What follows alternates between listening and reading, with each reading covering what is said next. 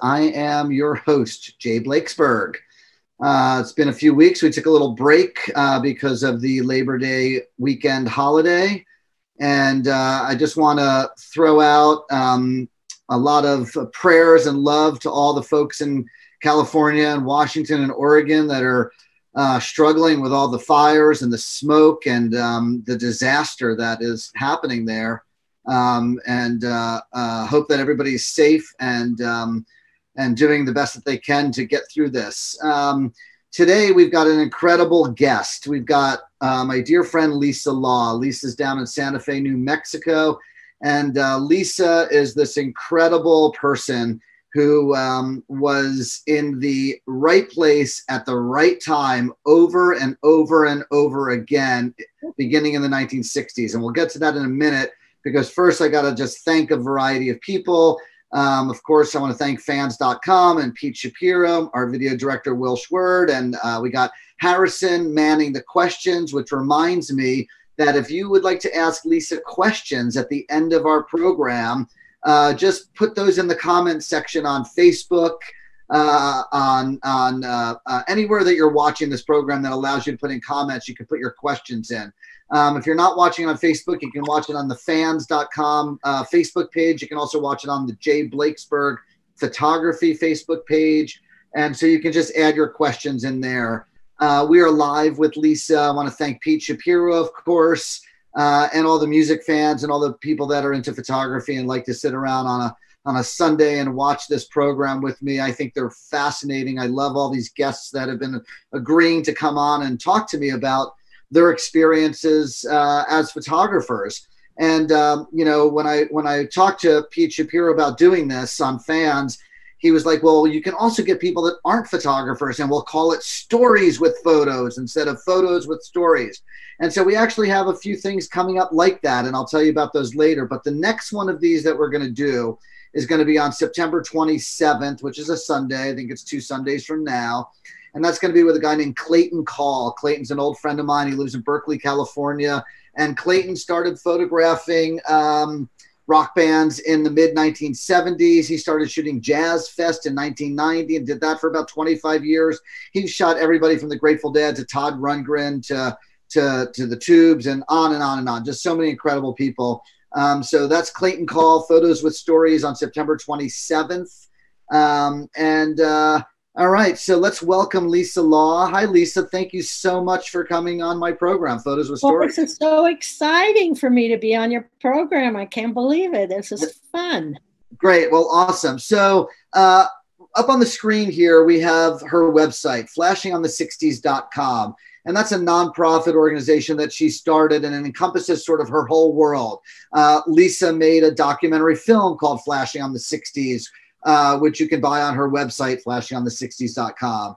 Um, I just watched it. It's an hour long. It's super informative. It's got interviews with Ram Dass and Graham Nash and Peter Coyote and all Wavy Gravy and all of those people are her dear friends, right? These are people that are super close to Lisa for decades and decades. I mean, she's been best friends with Wavy Gravy for almost 60 years now.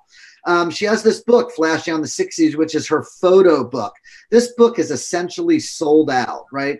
But she has about 25 copies left. And if you go to her flashingonthe60s.com website and send her an email, I believe she will give you a discounted price on this book if you tell her that you saw it here on Photos with Stories. I think that book is normally $75 and she will give you some sort of a discount. Um, so just reach out to her via email about buying that book. It's an incredible book. I love it. Um, one of my favorites. Here's another one of her books, which is Lisa Law Interviews with Icons, and that's Wavy Gravy on the cover. So um, Lisa's been in in the media for for decades, right? And um, she was a hippie with a camera, and she really knew how to use it. She was a professional photographer. Um, she studied photography. She went to the College of Marin. Um, she was a trailblazer. Blazer. She took LSD for the first time in 1962. She did the blue liquid LSD in 1962. Think about that. LSD was still legal for four more years when she first did it for the first time. So uh, hopefully your grandchildren are not like freaking out that I'm telling everybody that you you took LSD because certainly your children know that. You know, I know Pilar's watching and uh, she knows all about it. So anyway, so so um uh, so Lisa, you went to the College Marin. You're living in the Bay Area and um, and then you meet this guy that's up on the screen. This is Frank Werber, and I've got three photos of Frank Werber. This first one is a nice portrait you did of him, and then there's a couple of shots of him around these race cars. Tell me about who Frank Werber is and how he is important to your life and what he sort of opened up the doors for you to do and where that led uh, and led you. Well, he was he owned the Trident restaurant in Sausalito and I used to help him get his band members into the club so they'd play. And and I said, Well, I'm going to leave, Frank, and I, I'm going to go to New York and be a taxi driver. He says, What? I said, Well, I'd make more money there. I'm not making it here. I'm cleaning houses and I'm helping you for free. He goes, Wait a minute. So a day later, he called me up. He says, I want to hire you as my personal assistant. So I was also part of his pit crew with his uh, race cars and uh, and I took care of his house, his Cadillac, his motorcycle, his yacht, and his cooking and his cleaning and everything. And he taught me how to do gourmet cooking.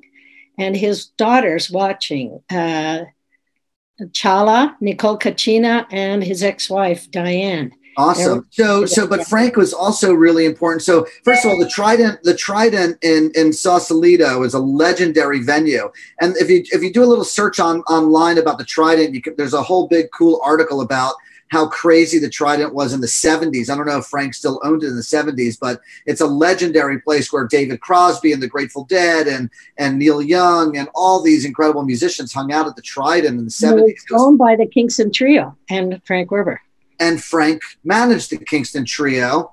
And uh, uh, so tell us about you know Frank's other business, which was managing rock bands, and uh, and and, and then Janis Joplin.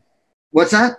Janis Joplin, Mystery Trends, Sons of Champlin, uh, We Five.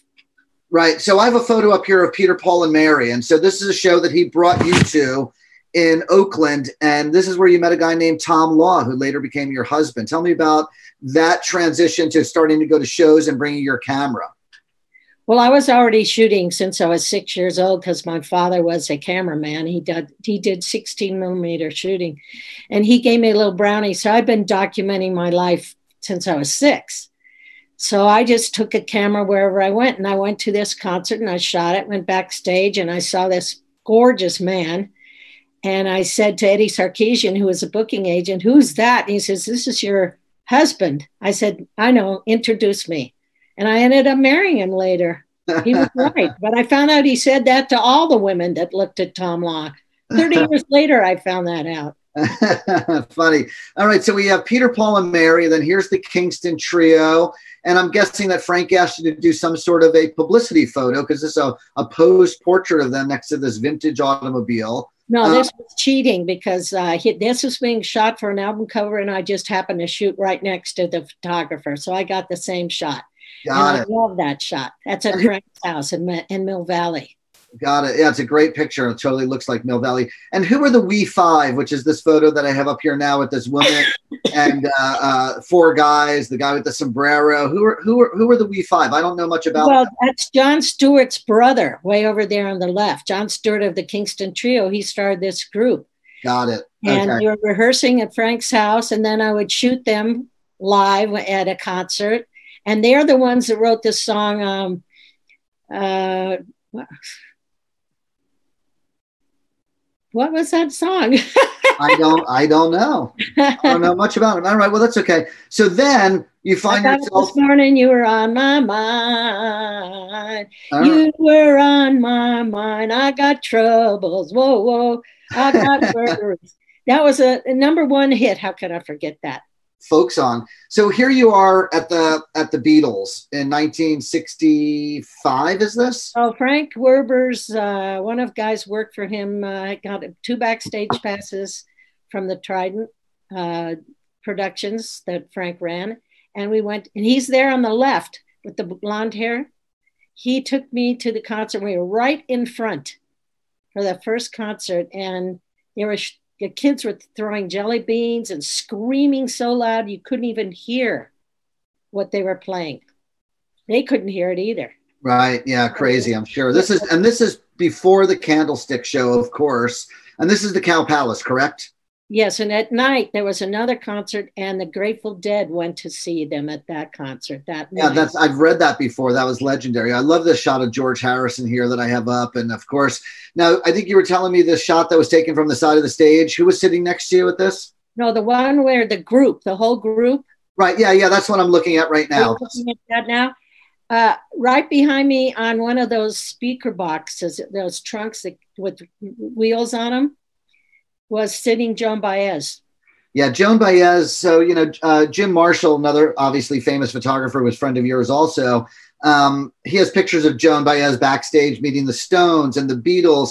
And the thing that was so interesting is that Joan in the United States was as big a star, if not bigger, than these bands at this time you know, like I, there's a picture of, of, of her with the Stones at the Cow Palace. They didn't even sell this, the Cow Palace out, and she was selling out 20,000 person arenas playing solo acoustic at, in in 62 and 63. So it's you know, so Joan was meeting these people that were coming over, like the Beatles and the Stones, but she was as big a star as her. But wasn't uh, she already playing with Bob Dylan at that point too? Uh, yes, she had already done Newport Folk and all that stuff. Absolutely, yeah, she was right there with Bob Dylan uh, John, John Sebastian is this next one here with the guy with the floppy hat. Is that Cow Palace Two, The Lovin' Spoonful. Lovin' Spoonful. And, and, then, then backstage. Is, right, and uh, yeah, I've I've been right there in that hallway with that a gate there at and Cher were there too.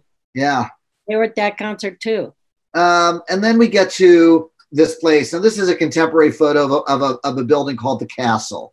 So you move to, um, uh, so you connected with Tom Law bring us up to from from Frank Werber meeting Tom Law in the Bay Area, leaving the Bay Area and going back down to LA and ending up at this place called the Castle and what the castle was and why you were there and and, and how that all happened. Well, after I saw Peter, Paul, and Mary, um, two weeks later, Tom Law asked if he could come stay with me at Frank's house and he stayed with me uh, for a few days and uh, we kind of fell in love. And when i went down to la uh, to take care of my grandmother who had a cataract operation uh, uh, i said i'm here. And he called me and he says uh, he took me over to the castle. He says what do you think of this? And he says look i found lisa lisa Bachellis here. And and i said boy i like this castle. And he says well you want to come live here with me? And i said well if you uh if i can be your old lady i'll come there because i don't want to just be your cleaning lady. And he says okay you can be my old lady. So he kind of proposed to me like that you could be my old lady. And i moved he came up and got me from uh, san francisco drove me down and i started living in there and all these people would show up. I mean there's tim hardin i shot his first album cover uh, on the grounds um, in the garden down below with those jade plants and um, Barry McGuire lived there, and Severn Darden, and uh, then uh, we had Bob Dylan lived there, and the Velvet Underground lived there, and uh, we had parties where uh, Owsley was there, and um, uh, there was everybody was there. And, and we were there for a year, just partying up, dancing, dancing to Rubber Soul in the in the big, huge ballroom. And so what is this? What's this? What's this? Black, what's this black and white shot with this big crowd with the people, all their hands held in a circle? Tell me about that shot. That's uh, the um, the um, Elysian Park Love-In on Easter in LA. That's one of the things we went to. I think uh, Barry, McGuire, Barry McGuire went to that too. And here's uh, this beautiful hippie girl that was there. Isn't she gorgeous? Love that shot. So then you get to so then there's the typewriter shot. Whose typewriter is that? Okay, that's that's Bob Dylan's typewriter. So he stayed there just before he went to Europe on his big tour. And I think he stayed there a week or two. And I was his cook and his masseuse. And I was photographing him like crazy. And I'm lucky that I did photograph him a lot because that picture of him looking down in the solarium is a very uh, well loved picture of him. Yeah, I love this shot. I have it. I have it hanging out, hanging on my wall in my office. You gave me a copy of it. I love this. Yeah, he was there with Albert Grossman, and Blonde, Blonde on Blonde just had happened, and uh, we went shopping to get him his polka dot shirt, and uh, there's uh, I don't see what you're seeing, but uh, I got the right now. I'm showing the pictures of him with your husband Tom Law, where they're goofing around. And, right and then here, and then this is the polka dot shirt that you're talking about. So you went shopping with Bob to get him his clothes, right? Right. And, and uh, go down further with his hands. Yep. That one with his hands and the cigarette. Yep. So that one, this one that became the the book cover for. Right. I've done a several book covers for Bob, and this is uh, an, a biography. And right. that they called me up for a picture, and I said, "No, you don't want it. You want this picture." And they said, yeah, we want this picture. So yeah, it's just a, it's I've done a lot of for Bob. Look at his fingernails. Like I think you know, just like, and it looks like his nails are long on his right hand and not his left. So maybe he's yeah, that's from playing guitar. And right. and also, if you look in his glasses, you see the window behind him. It's a big, huge bay window in the castle. Yeah, I see. And behind it is the L.A. downtown L.A. Got it. And then this next shot is Albert Grossman, who of course was his manager. And uh, this is him with, I think, his tour manager. You were telling me the guy with the hat and the glasses. And then we get to the shot of Robbie Robertson. Victor, so, the, so the band was hanging out. But that's Victor Maymudes. He was very important to Bob because he would, whenever Bob had to leave a concert, Victor went first. And Bob just was behind him, grabbed onto his, his jacket because Victor protected him. And he was his road manager for a long time. Right, right. We call that him being the blocker. He was blocking for yeah, Bob. He, was, he went every place with him. And Victor was a dear friend of ours too, and right. he lived here in New Mexico a lot. So here's Robbie Robertson at the castle. Were the were the band staying there as well, or just Bob?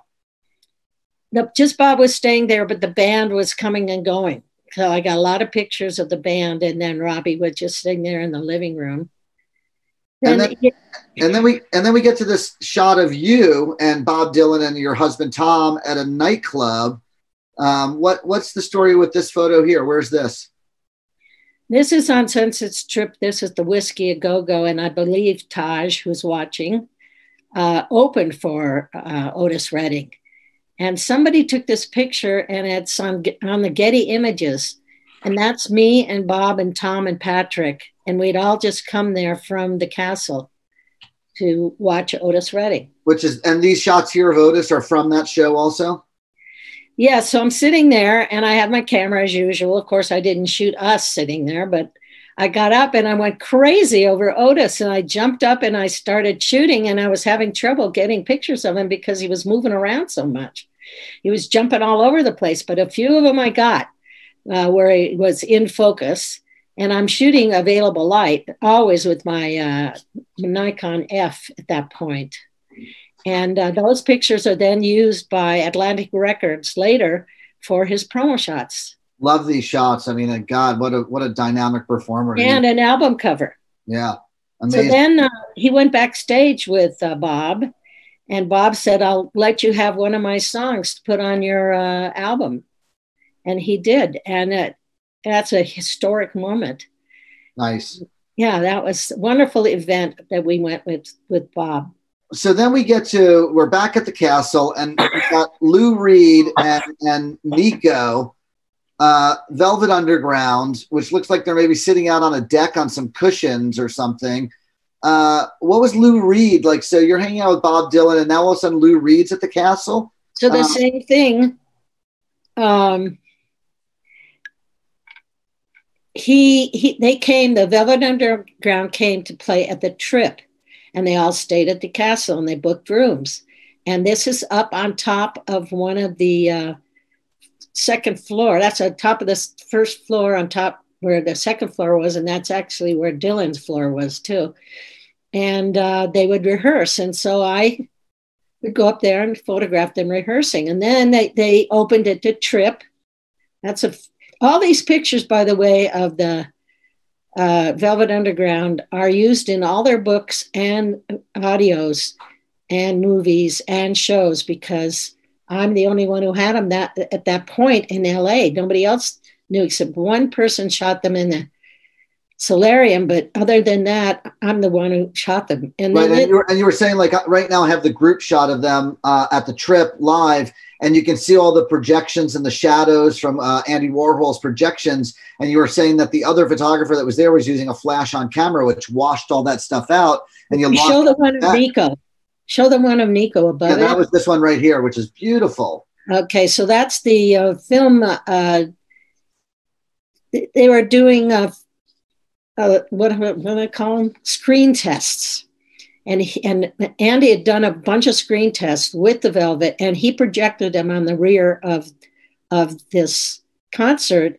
And I and that's what these pictures are famous is for, for is for seeing the screen tests on the back It's remarkable. I love this shot of Nico. I mean, like how I mean, this photo here just embodies the beauty of her voice and the time. And I mean, I just I, I love this shot of Nico. He was wonderful. I just I really enjoyed having them at the castle. And then back here, is, right back at the castle, and she's reading some magazine called Rave. Um, all right, and so then after you leave the castle, your life takes this completely new turn, and you end up living in Mexico. So, so this first photo here, I believe, is in Mexico. Um, tell me how you end up deciding to leave the castle, leave this glamorous lifestyle that you and Tom Law are leading with like all these incredible celebrities and musicians and pop culture. Um, and decide to go to Mexico. So, so, we were there at the castle for about a year, and uh, we had both fallen in love with Yelapa, Mexico, outside of Puerto Vallarta, and you can only get there by boat. And uh, so we, Tom says, let's go live there forever. I've got a piece of land we can rent from Pablo, and uh, we'll build a house, a little palapa, and we'll live there forever. And I said, okay, let's go. I love it there. And I'd been there in 1961 when I sailed down uh, from San Francisco. I was going around the world on the Fairweather, the yacht Fairweather, the gaff-rigged schooner and I had stopped there for one night and, t- and I took three pictures were now that are now on a mural in the front of Yelapa. And we were going to build on the mountain behind those palapas there. And uh, so I started shooting pictures of the town and the people and people making um, canoes out of Parota wood trunks and people washing their clothes in the river uh, with lean tos from uh, the palapa leaves and branches. And uh, I accidentally drank some bad water and I got hepatitis B. So I was very, very ill, and uh, he was taking care of me. Thomas taking care of me. And then somebody came by and said, Hey, have you heard about Maria Sabina giving mushrooms to um, the professor. He's on the cover of Life magazine. Uh, they, have magic mushrooms down in in Huautla de Jimenez. Let and Tom goes, let's go. And I went, wait a minute. I, the house, the building house here, live here forever. And he said, nah, let's go. Take the mushrooms. Mazatec Indians. Yeah. And I'd already taken acid, so I knew what that was all about. And so had he. And so we go down to Huautla de Jimenez I barely made it. I was so sick from hepatitis. I was all yellow. And that's where you met this old this older woman here who is tell me the story behind this woman. Well, she was there. Somebody was taking a picture of her, and I said, Well, can I be next? And she said, Sure. And I took a much better picture of her. And uh, it became, she's just an old lady that was there. It, she became Mushroom Lady in this poster in the Haight Ashbury when we got back. It became Steve Samuels did the artwork for it, and we did this beautiful poster, which was very popular then. A lot of people bought that in the Haight Ashbury. But like later, shop and the poster mint probably all sold it. Later, uh, well, during that time, oh, Tom left after uh, he took the mushrooms. He left and he went back to LA, and I was there for a month recuperating from hepatitis and getting to know these old ladies in the market. And I would sell fruit. I would sit there and wear the same clothes they were wearing. I'd braid my hair like they had, and uh, ribbons in my hair, and huipils. And these are all handmade huipils after they take the mushrooms, they make these psychedelic huipils. And I actually was in the marketplace with this woman, Maria Sabina, selling food. Well, I came back 10 years later with Sally Grossman and took that picture of her for the cover of her book, La Sabia de los Hongos, and the woman who knows the, the, the mushrooms. And she was very famous, and there was a book done by her. And but these other pictures uh, below are pictures I took when I was there in 1966 of the marketplace, the woman in the huipil, and uh, and, and then there's that picture of you in the huipil uh, uh, among the dog and the chicken, and then there's a picture of me in a huipil from Mexico rather than uh, yeah, well, Mexico we were in Mexico, but from a different town.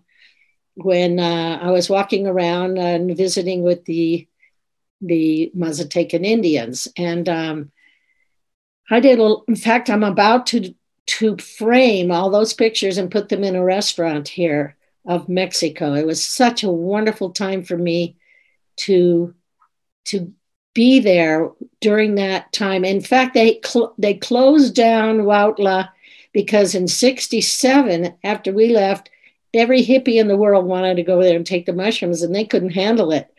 So they closed the road. So people couldn't come and take the mushrooms. So did Tom come back to Mexico and get you and bring you back to the Haight at, in the end of 66? Uh, he almost died in the hospital of hepatitis with Victor Maymudes. They got it after me. And it, when they left, when they left Huautla and went back to LA, they became violently ill and went into the hospital. So I heard about it and I jumped in the bus and drove all the way up to LA to stay with Severn Darden and help care for uh, Tom. And at that point, my father had taken acid, my stepfather. And he'd hated me before because I smoked marijuana and took acid. And he used to spit on me and he'd see me. Well, my mother and he broke up, and he ended up living in Nicasio. And these all these hippies were renting his houses there in Nicasio, and Barnett's place it was called and they gave him acid and they had him smoke dope and he took me out to dinner i flew up to have dinner with him at in the mill valley and he says it wasn't that i didn't love you it was that i didn't know what love was until i took acid Nice. All right. So now you're up in the Bay Area and it's late 66, just before the Human Be-In, in January of 67. And you take this photo of this woman in this Mexican dress, some hippies. Um, come from Huautla. From where you? That's the out, outfit from Huautla. Right. So the hippies and the Haight were already wearing these Mexican clothes. They had been there. They had been there and taken the mushrooms. Yeah. And that during that time, there was the anti Vietnam March, which I documented. Mm-hmm. And uh, took all these pictures of the march, which are now in my book, and they're used in lots of books, educational books of uh, what was happening during the 60s. Right. This is the um, psychedelic shop uh, in the Haight. And then there's, I started, uh, Victor Moscoso asked me to shoot a picture for a, a poster he was going to do for the Matrix. And uh, we, I did this shot uh, so this is Janis Joplin and Big Brother, and Victor Moscoso, of course, is one of the big five poster artists in the Haight Ashbury in the '60s. And this photo is a very famous, you know, Avalon Ballroom poster or the Matrix. I forget which one is the Matrix or the. Avalon? Right. for the Matrix. Yeah, always loved this photo, and I, and actually didn't know for years that you had taken it until I probably looked at the, the poster and saw your name on the bottom. Um, and, that, and that's how your relationship started with Janis, and you became friends with Janis Joplin, right? Right. And then I said, let's do some more uh, photography of you guys. So I took them to a, a, farm, a ranch in Woodacre, and I shot these silly little photographs of them. I think they're silly, but they're, they've been in museums and shows and, uh, and books. And uh, that's the nice one of her with her hair blowing and a big smile on her face yeah, that's that's one of my favorites. A lot of people buy that one. But that, you see the one with uh, her leaning up against the wall? Yeah, with the man next to her, right? Okay. So the story with that is is that we were friends uh, in the Haight, and then we moved to New Mexico, And uh, she came later with Albert Grossman to do a cigar commercial. And she, I met her at the La Fonda in Taos, and she grabbed me and hugged me and said, Lisa, Lisa, you got to help me. And I said, well, what, what do you need? And she said, I'm tired of these city men. I want me a mountain man. And I said, Oh, you got to come to my house up to Truchas and we'll find you. I in fact, I know a perfect mountain man for you. Okay. So if you come up there, I'll introduce you. She comes up, but she didn't let me know in advance. And I was grocery shopping. And she came into the house with Tom, and Albert Grossman brought her in. And she saw this guy on his haunches uh, smoking a camel cigarette. And he had a beard and he was wearing a leather jacket. And, and she said, This must be the guy. I think this is the guy. And he says, Hey, you want to go have a drink down at the bar? And Truchas has a bar. She goes, Yeah, let's go. So they go down and they're having a drink. And he says, You know, I got a potato baking in the oven up at my uh, my cabin. You want to come up there? We got to check it out, check, see how the it's baking. and, that's, uh, like, that's gonna be the, great, the greatest pickup line ever for Janis Joplin. You want to come see my baked potato cooking in my cabin? and so they go up there, and we don't hear from them all night. And Albert Grossman's pacing the floor back and forth, going, "I gotta cancel the air flight and everything. Where is she?" Right? And they made love all night long. So in the morning, he brings her down in his truck, drops her off at the end of the driveway, and she walks up. Look what she's wearing. She's wearing sandals and a, and a paisley dress and a, a, with a fur top, and she's wearing um, a feather boa in her hair. And look at the smile on her face. She got her mountain man and she made love all night, and she was a happy camper. So she sat down up against the wall of my house. If you look, there's marijuana growing in the window there. And that's Tommy Masters. Well, Tommy Masters would just happen to be there. And uh, he sat down and started talking to her. And uh, then Albert took him and left. Well, the next day, which is an important part of the story, he's sitting in the outhouse taking a dump, looking at the Truchas Peaks and the Sangre de Cristos, and Jane Fonda walked by in front of the outhouse and he literally shit. I mean, it was a moment when Jane came to visit us just during the anti Vietnam issues. And uh, there he got a double whammy in two days. Nice. That, that was just before she died.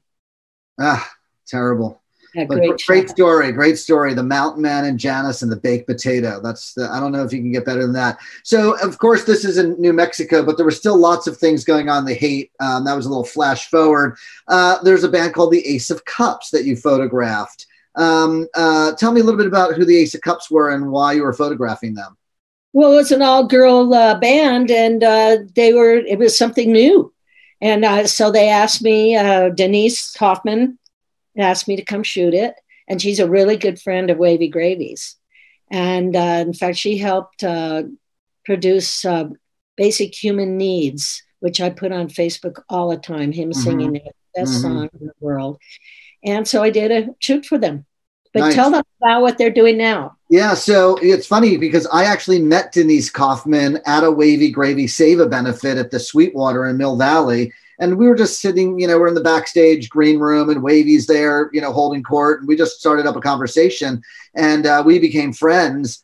And because uh, Denise Kaufman's easy to become friends with, right? She's this incredible person. So a lot of people don't know that she's actually Mary Microgram uh, in the electric Kool Aid acid tests, right? So she's on the on the bus with the Merry Pranksters with George Walker and Ken Kesey and Ken Babbs and all those people.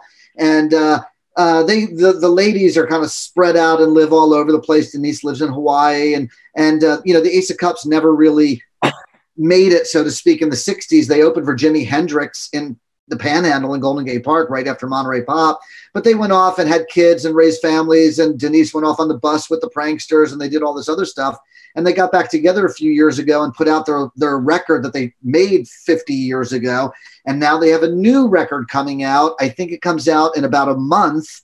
And I shot that record for them. So we have something in common there. I did the most recent band photos of the Ace of Cups for their new record, and you shot them back in 67 here. Um, so, uh, you know, we're kind of, uh, we're on that same wavelength. You know, I always talked about how I loved wanting to photograph all these cultural icons of the 60s you're older than I am. You were living with these people. They were your best friends. And I came into it because I dropped acid as a young kid, suburban New Jersey, um, teenager in the 1970s, and, and fell in love with everything having to do with, you know, the Kesey and Leary and Owsley and the poster artists and the dead and the airplane. And, and I've been spending my life photographing these people as well. So I'm happy to have photographed uh, Denise and, and the Ace of Cups. And so everybody can look for their new record. But back to our regularly scheduled Lisa Law program.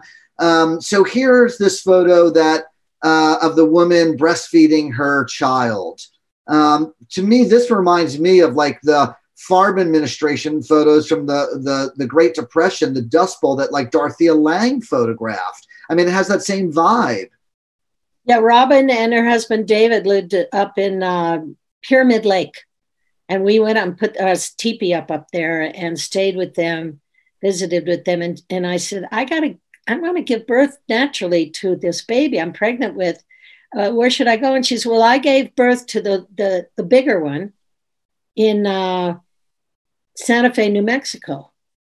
Why don't you go there? There's a natural childbirth center. So we decided we were going to go in our VW bus and with the teepee poles on the top and everything and drive to uh, New Mexico to deliver Pilar. Hi, Pilar. She's watching the show. Hi, Pilar. You're so great. My Pilar helps me a lot with my business. She works with me. She's your oldest daughter. Yeah, she's going to take over everything when I'm gone.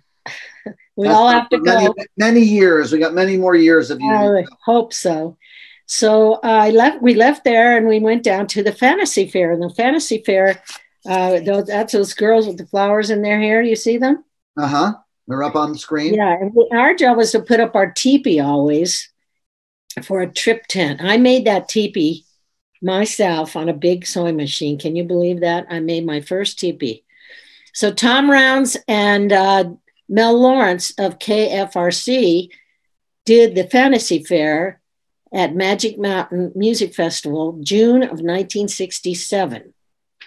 And it was the first known rock festival. So first this was a so, so just from a historical perspective, this is basically a week before the Monterey Pop Festival happens, and uh, this is up on Mount Tam in Mill Valley. And they really didn't do any music up there for decades until just a few years ago. A guy named Michael Nash, who lives in Mill Valley, started doing a, a, a, show up there called the Sound Summit, which is a benefit for the theater and the mountain. And, and uh, they had incredible shows, I think, four years in a row. And actually, it would have been last weekend if it weren't for the old Rona 20 virus that has taken us all by by by um, by the neck. But anyway, so this these shots here are the very very first music festival really to ever happen. Uh, major rock festival. There had been jazz festivals before this, but this is the first big rock festival.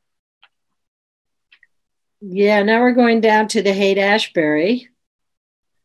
So well, Tom I, and I, I, hang on. I got a few more pictures from up on the mountain here. I got uh, uh-huh. this this artist up on stage and some of the crowd, and now you're back in the Haight with this color photo of this this hippie guy just hanging out in the Haight, right?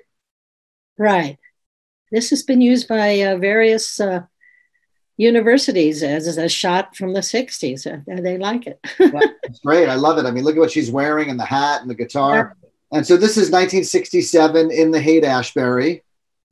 And this next picture is people just walking down Haight Street in 67. Had, did you start just shooting color about now? Had you not shot much color leading up to this? I shoot color, uh, color off and on whenever I feel like it. And so I was shooting, but I was only shooting with one camera.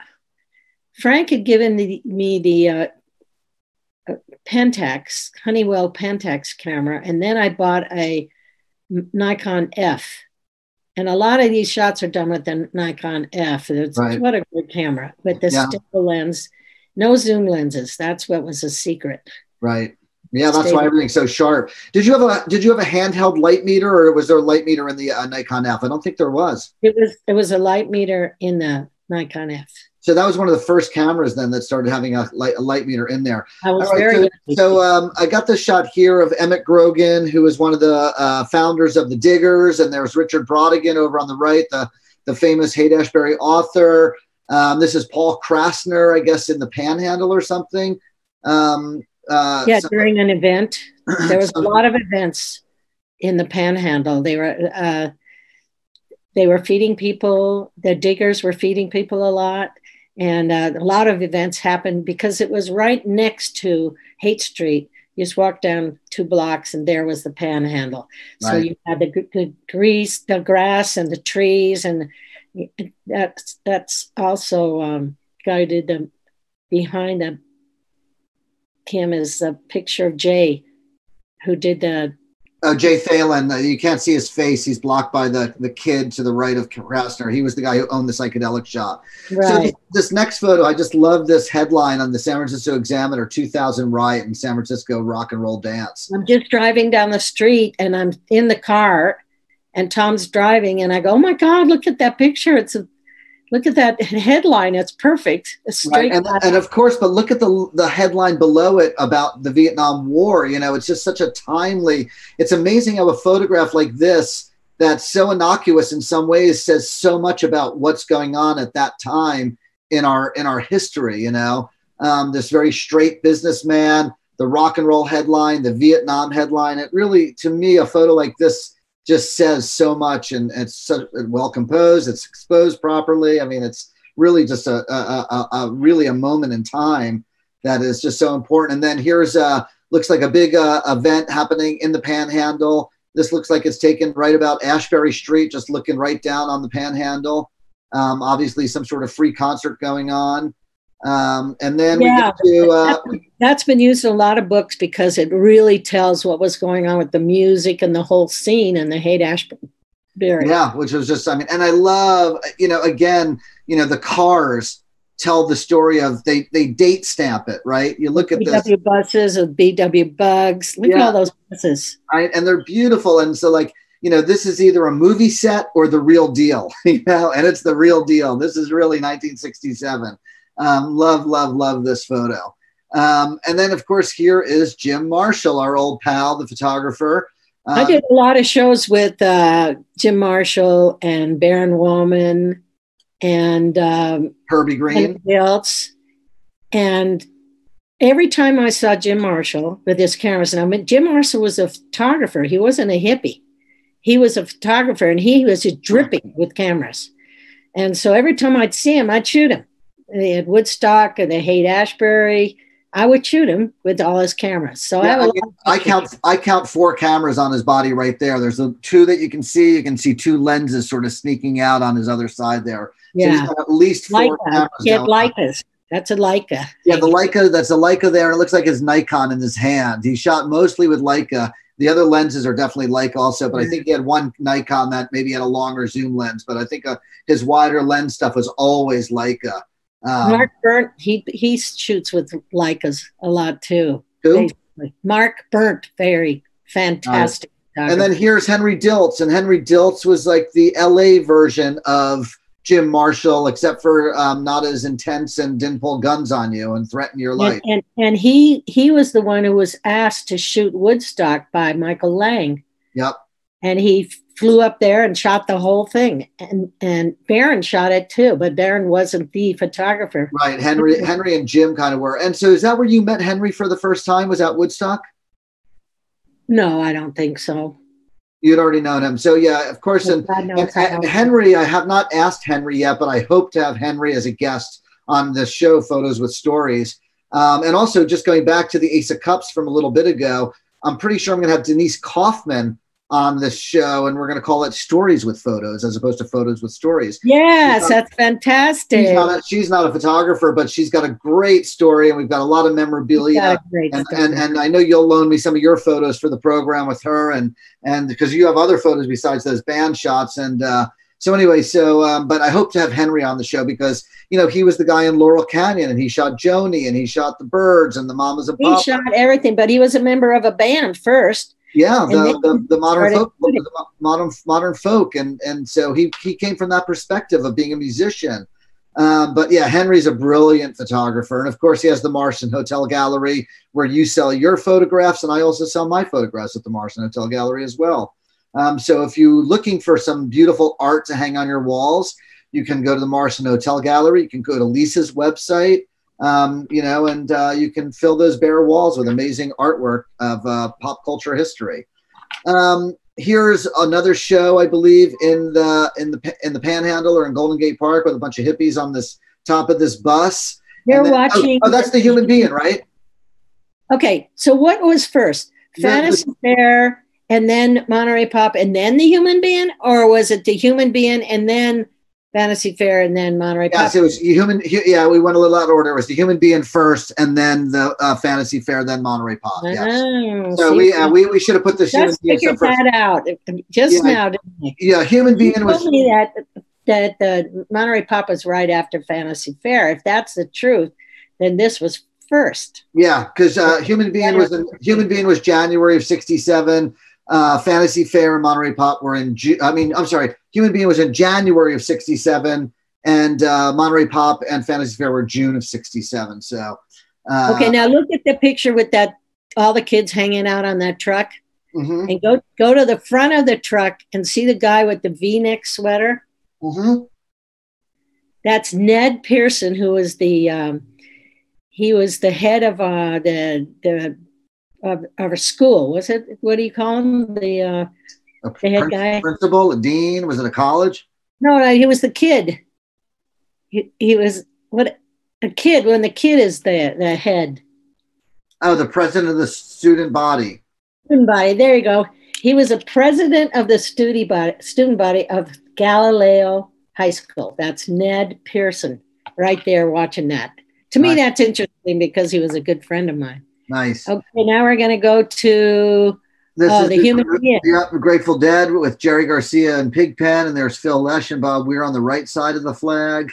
And, that used uh, to be the cover of my book because yep. it was the Grateful Dead. Yep. Yeah, and you know who was standing right next to me shooting was uh, Dennis Hopper. Ah, who we'll talk about later. Similar Dennis, pictures. Yeah. Dennis and you were very, very good friends, and so yeah. So then we got Allen Ginsberg and uh, Timothy Leary. Yep.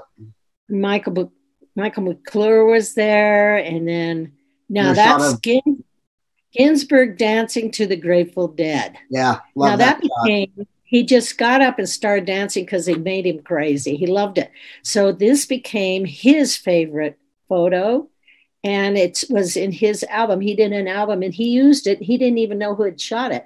Later, he when he was traveling around New Mexico, he stayed at my house with Gregory Corso and and uh, Ram Dass came over for dinner. And but this is down below is the, when Michael McClure and Gary Gary. Yeah, this is Gary Snyder, Michael McClure, Snyder, uh, uh, Leor Kandel, Lenore Kandel, and and Ginsberg is I think who's who we're looking at here yeah, that's a famous, famous shot. Yeah. So you know, I the first time I ever photographed Allen Ginsberg, uh, actually wasn't the first; it was the second time. But the first time I was one on one, I was doing a portrait of him in my studio for a magazine story, and we happened to be doing the shoot on Yom Kippur, which is the you know high holiday, you know high holy Jewish holiday where you're supposed to fast and repent for your sins and and not work and you know just relax at home.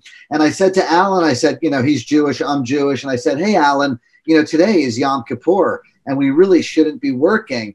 And he looked at me and uh, he mumbled a, a Buddhist a Buddhist chant, a Buddhist prayer, and he goes, "Don't worry, we're all good now in a Buddhist kind of Jewish way." So he kind of absolved us from our sins of working on Yom Kippur uh, when I was doing it. And then after I did the shoot, while he was waiting for his car service to pick him up out front of my studio in San Francisco, he took his camera out and did a couple portraits of me. So somewhere deep in the uh, Allen Ginsberg photo archives, there's a couple portraits of me that he shot of me.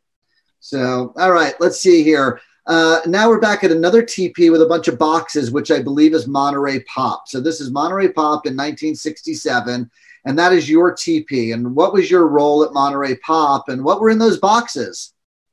We were uh, invited to set up the teepee because it was a trip tent. Where we went, it was a trip tent and uh, we worked with uh, John and and the gang, and it was Alan Pariser's idea to have uh, Monterey Pop uh, originally, and um, then John of the Mamas and the Papas took it over, and Alan Pariser was there too. But w- they invited us, and we worked with the. Uh, oh, this is an interesting story. We worked with the chief of police, and I and we said to we had a meeting with them, and we said, you know, uh, you, a lot of people are going to be taking acid and smoking dope, and so you have your choice. You can either arrest them all and take them all to jail, or leave them alone and see what happens.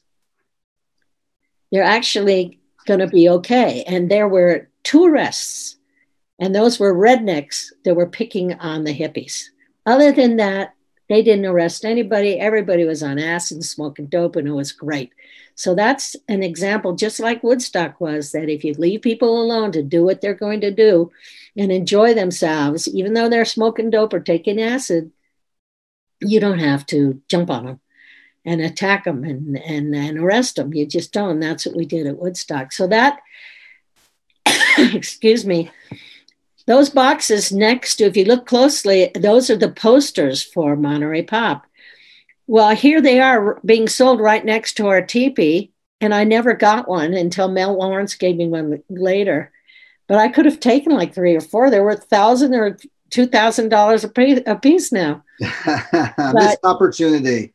But um, and then uh, here's uh, Albert Grossman, of course, Bob Dylan's manager, and and Janis's manager at Monterey Pop, and Ravi Shankar, uh, Tiny Tim, uh, which you have a long relationship with Tiny Tim that goes into the hog farm, which I think we're going to learn about later. Uh, there's a great clip in your movie flashing on the 60s, your documentary, where Tiny Tim is singing at the hog farm in New Mexico in, in the late 60s, I believe. Is that correct? Yeah, and he came to the castle. He was a very good friend of ours. And then he became very popular. right. Well, you know, tiptoe through the tulips, right? Yeah, yeah, he was really great. But uh, and of course, you know who came into that teepee? Um, uh, it was um, Jimi Hendrix came in with his boombox and he was playing it really loud, and we we were sitting there, kind of being chilled with Dennis Hopper, who had taken Michael McClure had given him way too much acid. And Dennis Hopper was in there. And I said to Jimi, I said, Do you think you could turn that down just a little bit? And he goes, No problem, no problem. and I didn't even know who he was at that point. But right. Dennis Hopper spent half the day in there. Yeah, there's a great picture of um, of uh, Dennis Hopper at Monterey Pop that Jim Marshall took. It's him and Nico and maybe Brian Jones and, and Dennis Hopper's got his cameras around his neck, but he does look really fucking high in that picture. So um, now I completely understand. And I believe that um, from what I understand, Dennis Hopper uh, uh, kind of took his character in Apocalypse Now from the Jim Marshall, you know, with all the cameras around his neck. Cameras dripping all over. Yeah.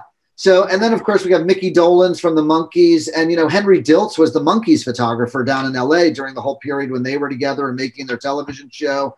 Um, uh, so another thing that that that Henry did, and then we get to the double the, the, the big mega rainbow with the double teepees, and uh, I think this brings us over to uh, the end of your time in the Bay Area, and you moving to New Mexico. Is that correct? So from Monterey Pop, we drove uh, with Victor and uh, Tom and a bunch of us. We were with a group called the Juke Savages, and we had our own musical group and we moved to New Mexico and we set up camp on Cerro Gordo in my teepee.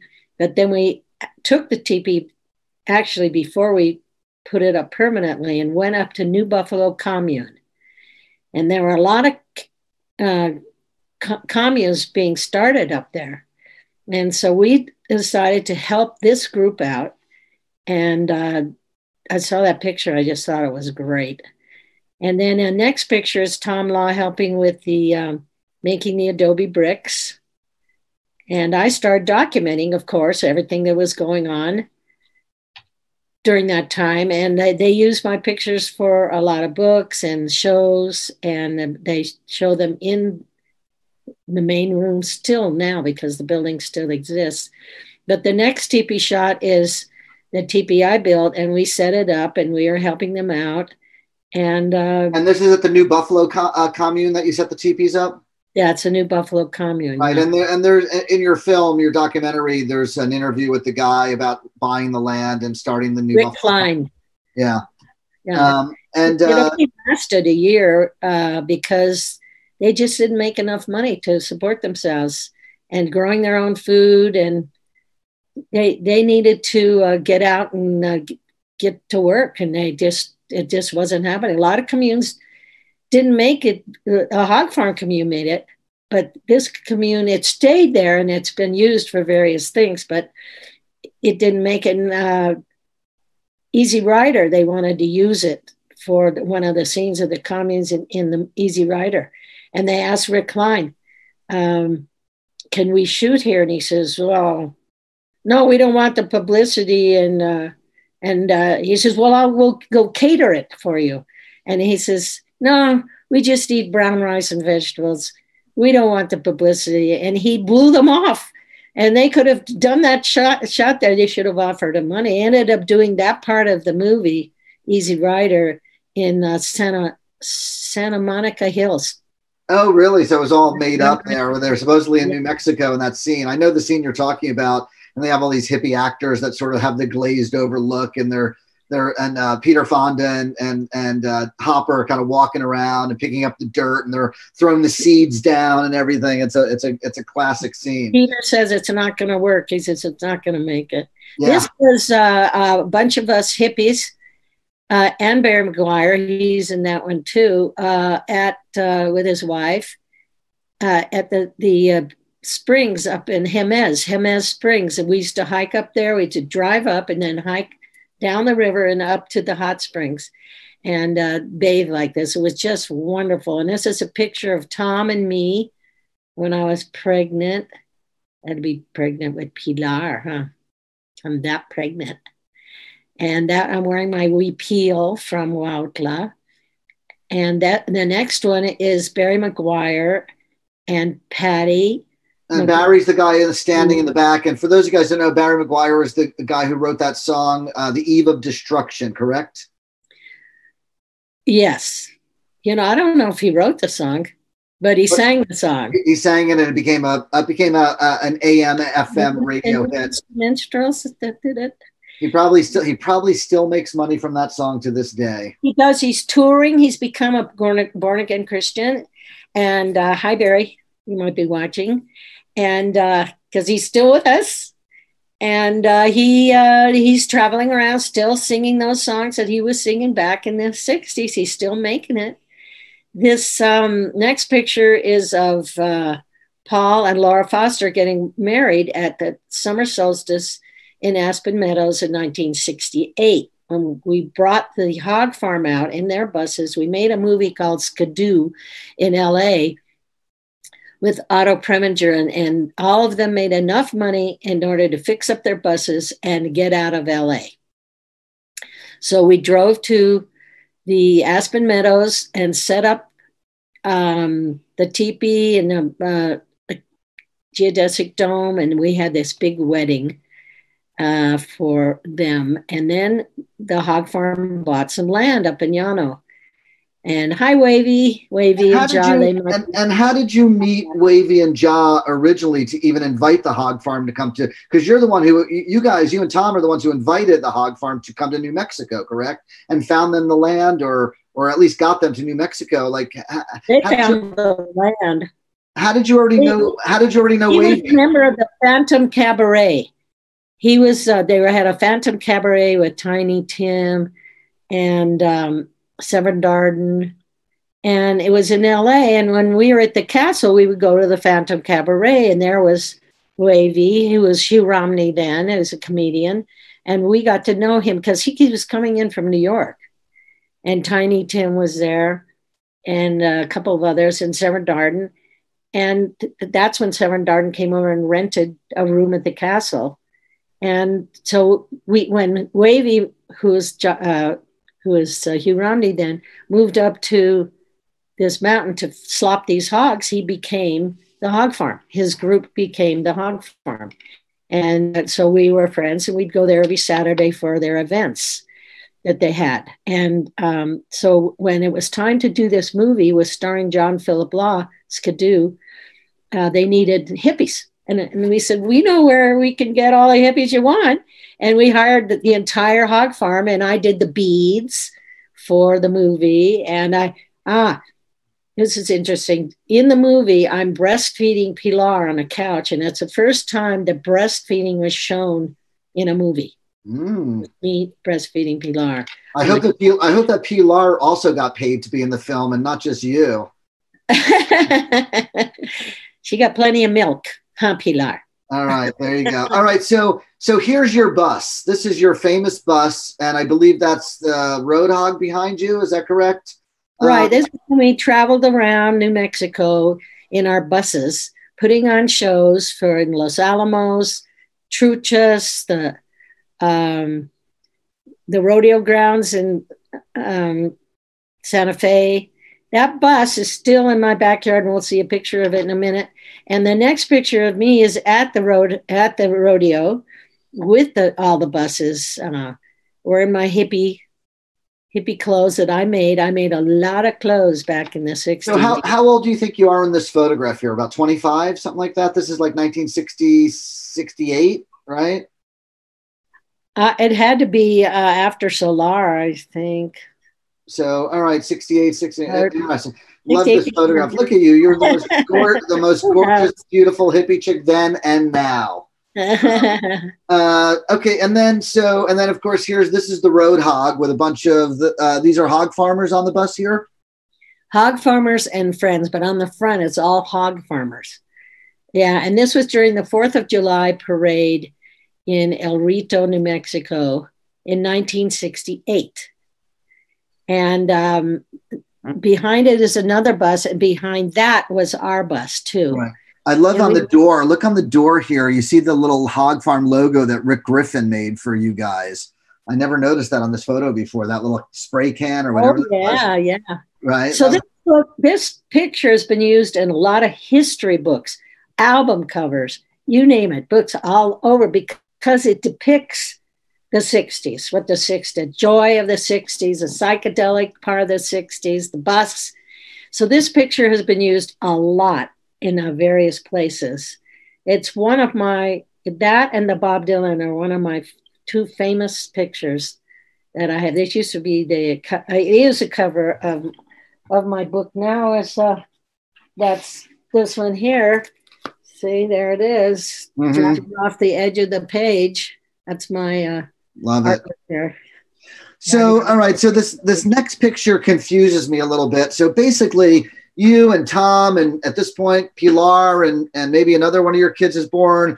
And you guys are basically hippies living on the land in New Mexico. And all of a sudden, you're in fucking New York City with Andy Warhol.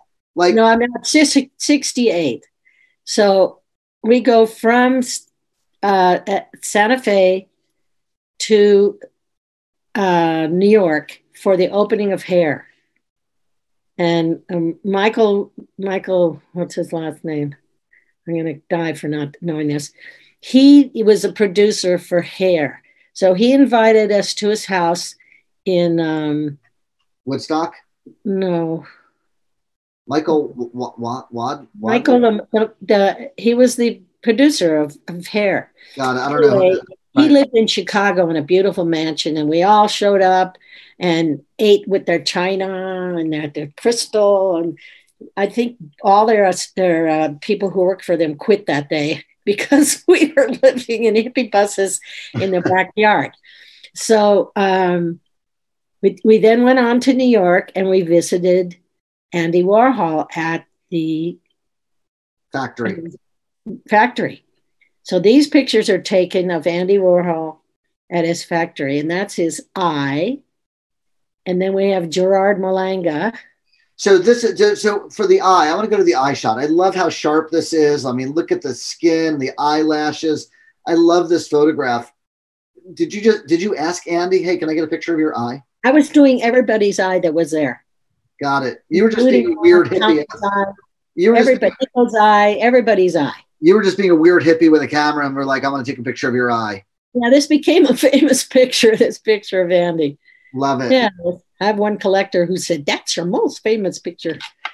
And then the Gerard Malanga, he was part of his group. He was right. wonderful. Look at his leather pants. He's yeah. crazy. All these people with, Andy Warhol, Warhol were crazy, wonderful people. I just love how like you, you know, the hippies come to New York City and they're like, you're with Andy Warhol. Like it's just to me, it's just it's mind boggling. You know, you well, know, yeah, you were around Lou Reed and things like that, but then you're like out in the middle of nowhere in New Mexico, like with yeah, but he had just been at the castle, remember? Right. No, I know. And Andy Warhol of Velvet Underground. Yeah. Yeah.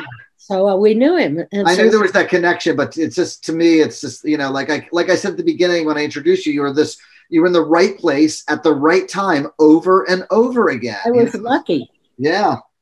Uh, all right, and here is the famous Further bus, um, and this is part of a famous story. Uh, is this part of the the road the road road races, the bus races? Is that what this is from? Well, you saw it in the movie, The Great Bus Race. Great Bus Race, yeah.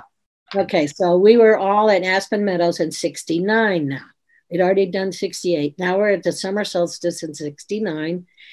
And um, we had a great bus race. At the same time, go to the picture below it. So that's Yogi Bhajan. We invited Yogi Bhajan to come to teach yoga that day. And during the great bus race, thank God these guys weren't out there during that time because they would have, they would have run over him, right? But he was teaching yoga, and there was they were in a tent at that point. But it was we had this great bus race with all the buses, and this is Ken Kesey on top of further coming down, but he lost the race to the hog farm, the hog farm bus, the road hog. Okay, he lost the race but that was during the Great Bus Race, which is famous.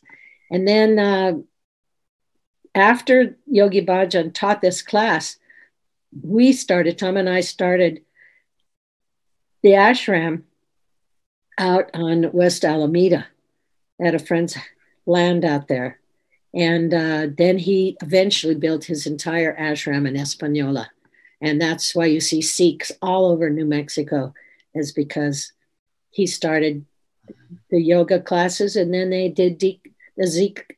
Uh, the, uh, so let's let's move let's move let's move on. Sikh karma, which is studying Sikh the Sikh religion.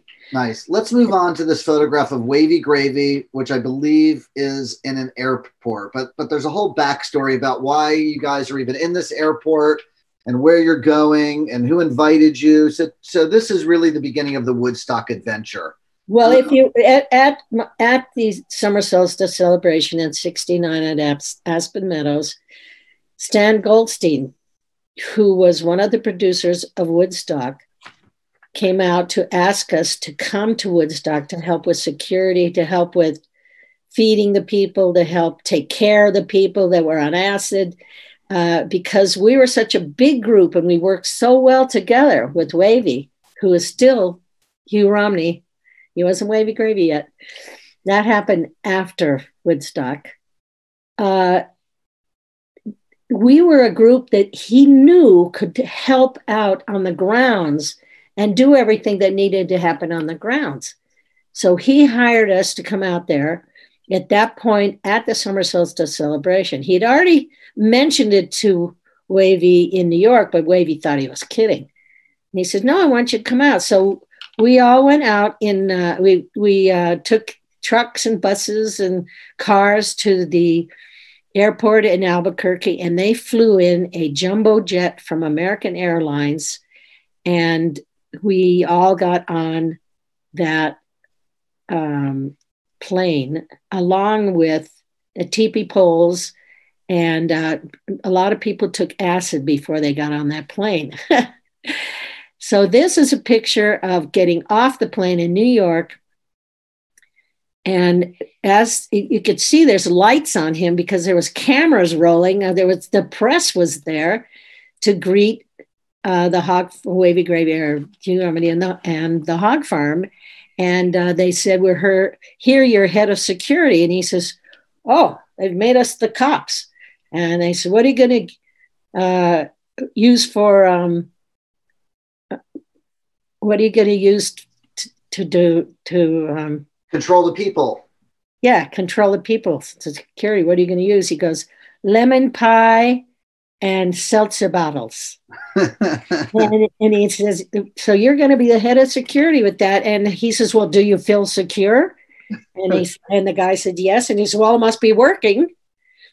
So you know he's a comedian, so he always had a, co- a comedian I, answer to comedy answer to uh, everything. Uh, Lisa, just to clear up some business, my pal Dan Skinner just texted me that Michael Butler was the producer of. There you go, Michael so, Butler. So we want to give Michael Butler a shout out. Thanks, Dan Skinny Man, for. Uh, Michael Butler's still alive. Right. So this next photo here. Um, is a pretty important photo at Woodstock. There's nothing about this photo that says Woodstock. You would never know it's at Woodstock, but it's a really important photograph at Woodstock. T- tell me about this particular photograph. This is at the, the last part of my black and white. I only was shooting with one camera, and this was the last picture I took of Tom putting up the medical teepee at Woodstock with one of Yasgur's uh, cows watching him. This picture has become very famous. I think it's a very pretty picture. You know, it's just in a show in uh, in uh, Nebraska. But it's also famous because it's really the beginning of the infrastructure being built for. Yeah, it's such- Tom Law putting up the hippie with his long hair, putting up. Uh, hi, Tom, if you're watching, putting up the first medical teepee on the area where the hog farm was going to feed everybody. And right. right. over the edge of that cliff is the free stage, surrounded by all the buses. And this next picture is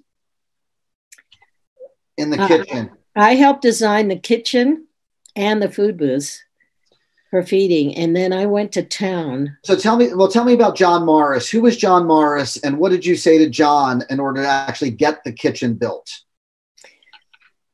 Well uh, we, we had already designed the kitchen and the food feeders the booths and they were being built by the hog farmers. That was some of the things they did because they're very creative. And um, we had a meeting and we were talking about what well what should we uh, do about the food? Oh we'll scavenge some uh, stuff down at the free store down there and we'll get a little this and a little rice and a little that. And i said excuse me. I said um, i think you know there's a lot more people here already and that's a week away.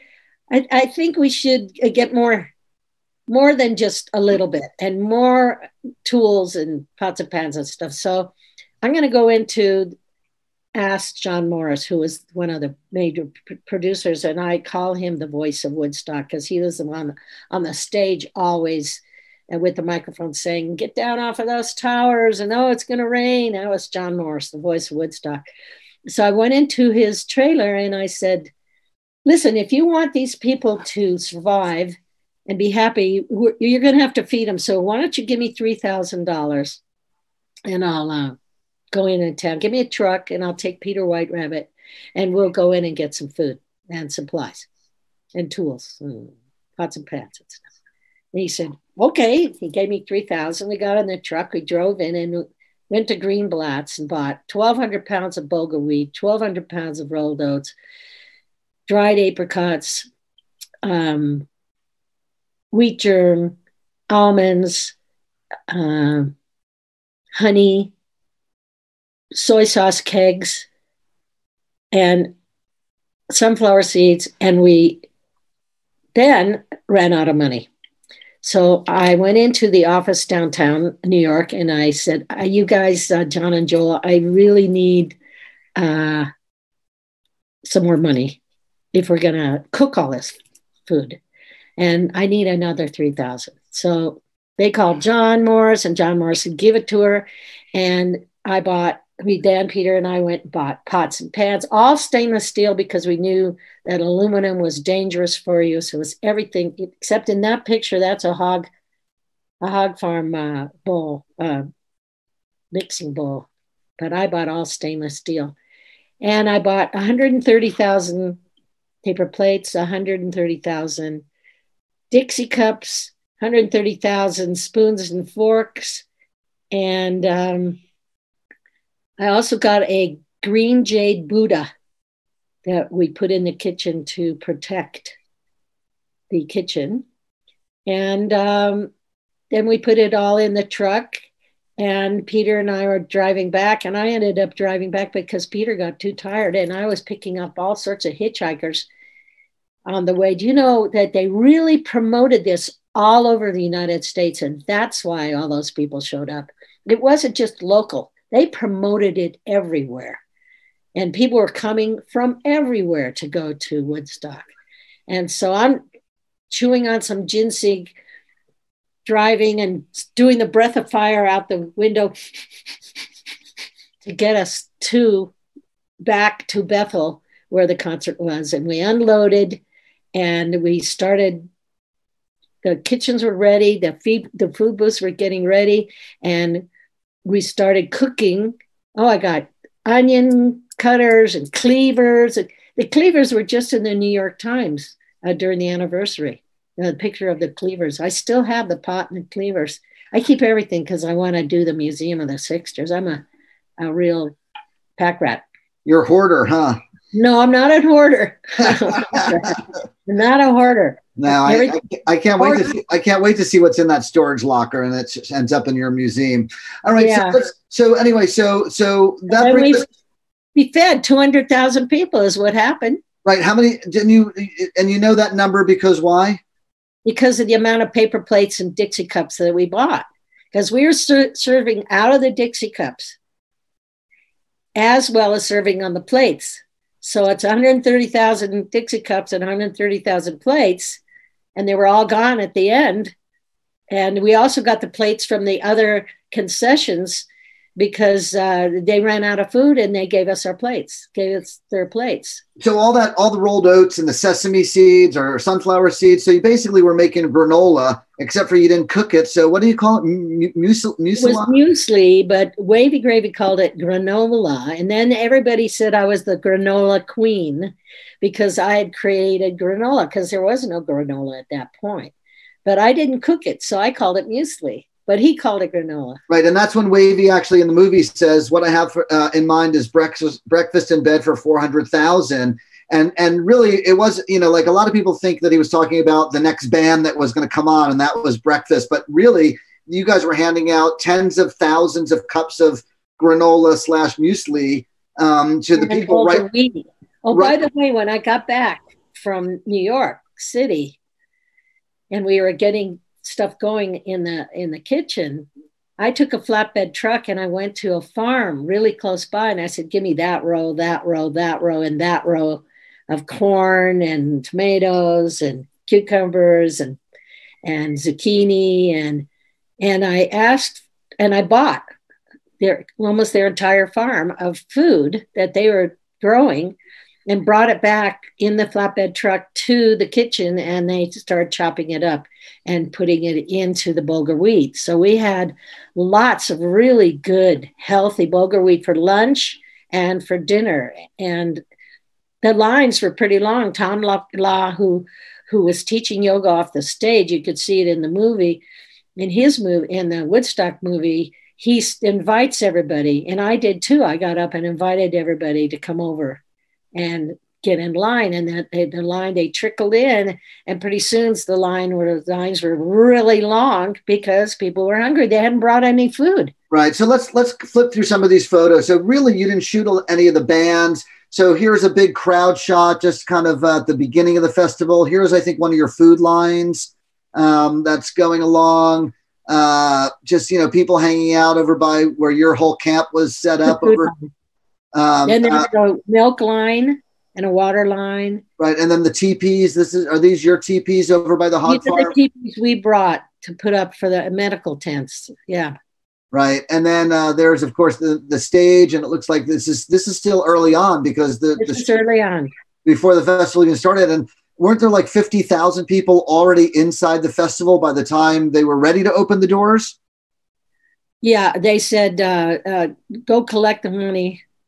Asked us to go collect the money from those 50,000 people. And uh, Hugh and Tom and a bunch of guys got together and they had a little powwow. And then they said, Do you want a good movie or a bad movie? Because at that point, uh, if you try to collect money from people that are sitting out there already, it's not going to work. Right. And uh, Warner Brothers was already there shooting like crazy. They knew what they had, and they were they were sleeping under trucks and everything to get these shots. I mean, they made a beautiful movie, and uh, and so um, so that's when it became a free concert at that they, moment. They, they never got the they never got the gates up. They never got the fences really up. They didn't. It was either finish the stage or finish the fences because they had to move from a different location. They were in Wallkill, and then they right. Wallkill kicked them out, and they'd already built part of the stage. They had to move everything over. Oh yeah, we all know that story. So I, I love, I love, I love this. Photo, I love this shot of Hugh, wavy gravy with the floppy hat. Hugh, yeah. He's about to go on stage there. Right with this, he's got his megaphone because he can reach all 500,000 people with this little megaphone. well, I, know, him a I mean, when I was growing up in New Jersey, Wavy was just such a cultural icon for me. I'd read about him, I knew who he was. I remember seeing him for the first time ever um, you know, collecting money for something in Central Park. I think it was the summer of 1979. I was with a, a, a, girlfriend of mine walking through the park, and I'm like, "There's Wavy Gravy," and I didn't have a camera. And the first time I actually photographed Wavy was at the Rainbow Gathering in 1982 in Idaho. He had a big, giant giant top hat that he was again collecting money for. And now you shoot him all the time. And now we're like, you know, I love when Wavy calls me on the phone. I'm sure he does the same thing to you when he calls you. He says, "Hey, you've got gravy in your ear." You know, it's the, it's the, it's always the greatest phone call when Wavy calls you because it's just you know he's just such a, a, a genuine icon and, and and dear friend and I mean I know you guys have been friends for for going on fifty he's, plus years now. He's a saint. Yes, and there's a movie about him called Saint Misbehaving. Yes, there is. It's an incredible documentary, and uh, if not have not seen it, I highly recommend. Uh, uh, it was directed by Michelle Esrick, another wonderful female filmmaker and she just she just directed that new film about Tracy Morgan um, that is on Netflix, so you can check that out. Uh, here we are back at the kitchen. Uh, with That's all the first kitchen. That was the kitchen that the the prankster set up, and the early hog farmers set up before we got there because they had to feed each other. Right. So they set up a kitchen. That little girl down below in the little white dress down there, that's Pilar. All so right. that was the first kitchen where they were serving. You see, their aluminum pots. Mine are all stainless steel. I better, and, I better, I better interview Pilar and hear all this from her side of the story. Yeah. So then I got to go up in uh, helicopters. I would go up to the helicopters and I'd say, "I'm with the hog farm, and I'd like to go up," and they'd take me right up. Right. So I got to shoot a lot of stuff from the air.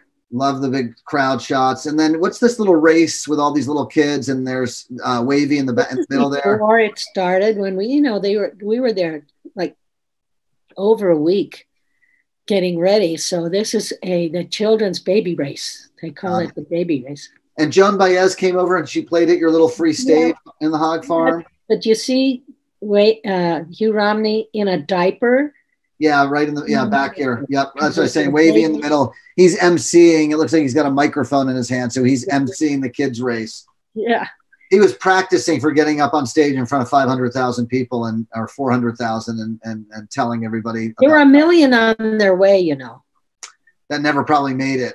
Uh, they couldn't make it. There was the traffic was horrible. Right. People were, they were parked along the side of the road. They get out of the car, just walk. This is backstage, Joan Baez. Right, right. But this is another. The next one after that is the aerial shot, and I think that those three three tents right along. If you follow the trees that are in the middle, right behind it, behind that green and white striped tent, are those the food lines right there? Yes.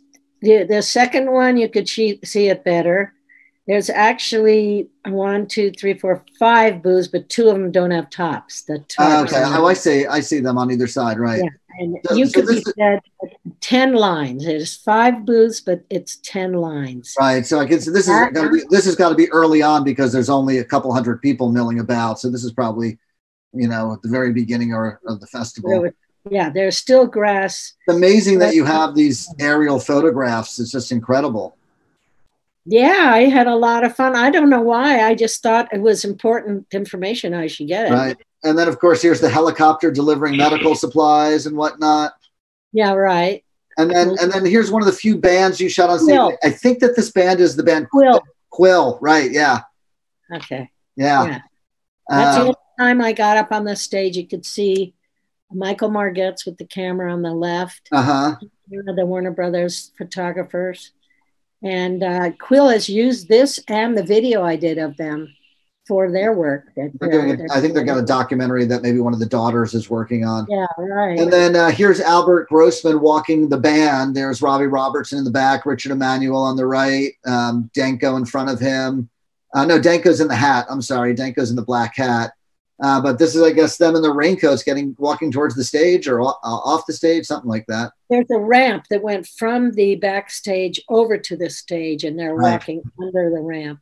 And I was on the ramp, and I looked down on it. Whoa, the band! Wow, And then, of course, here's the aerial photograph that you got of the whole is a famous aerial photograph. They showed it at the anniversary.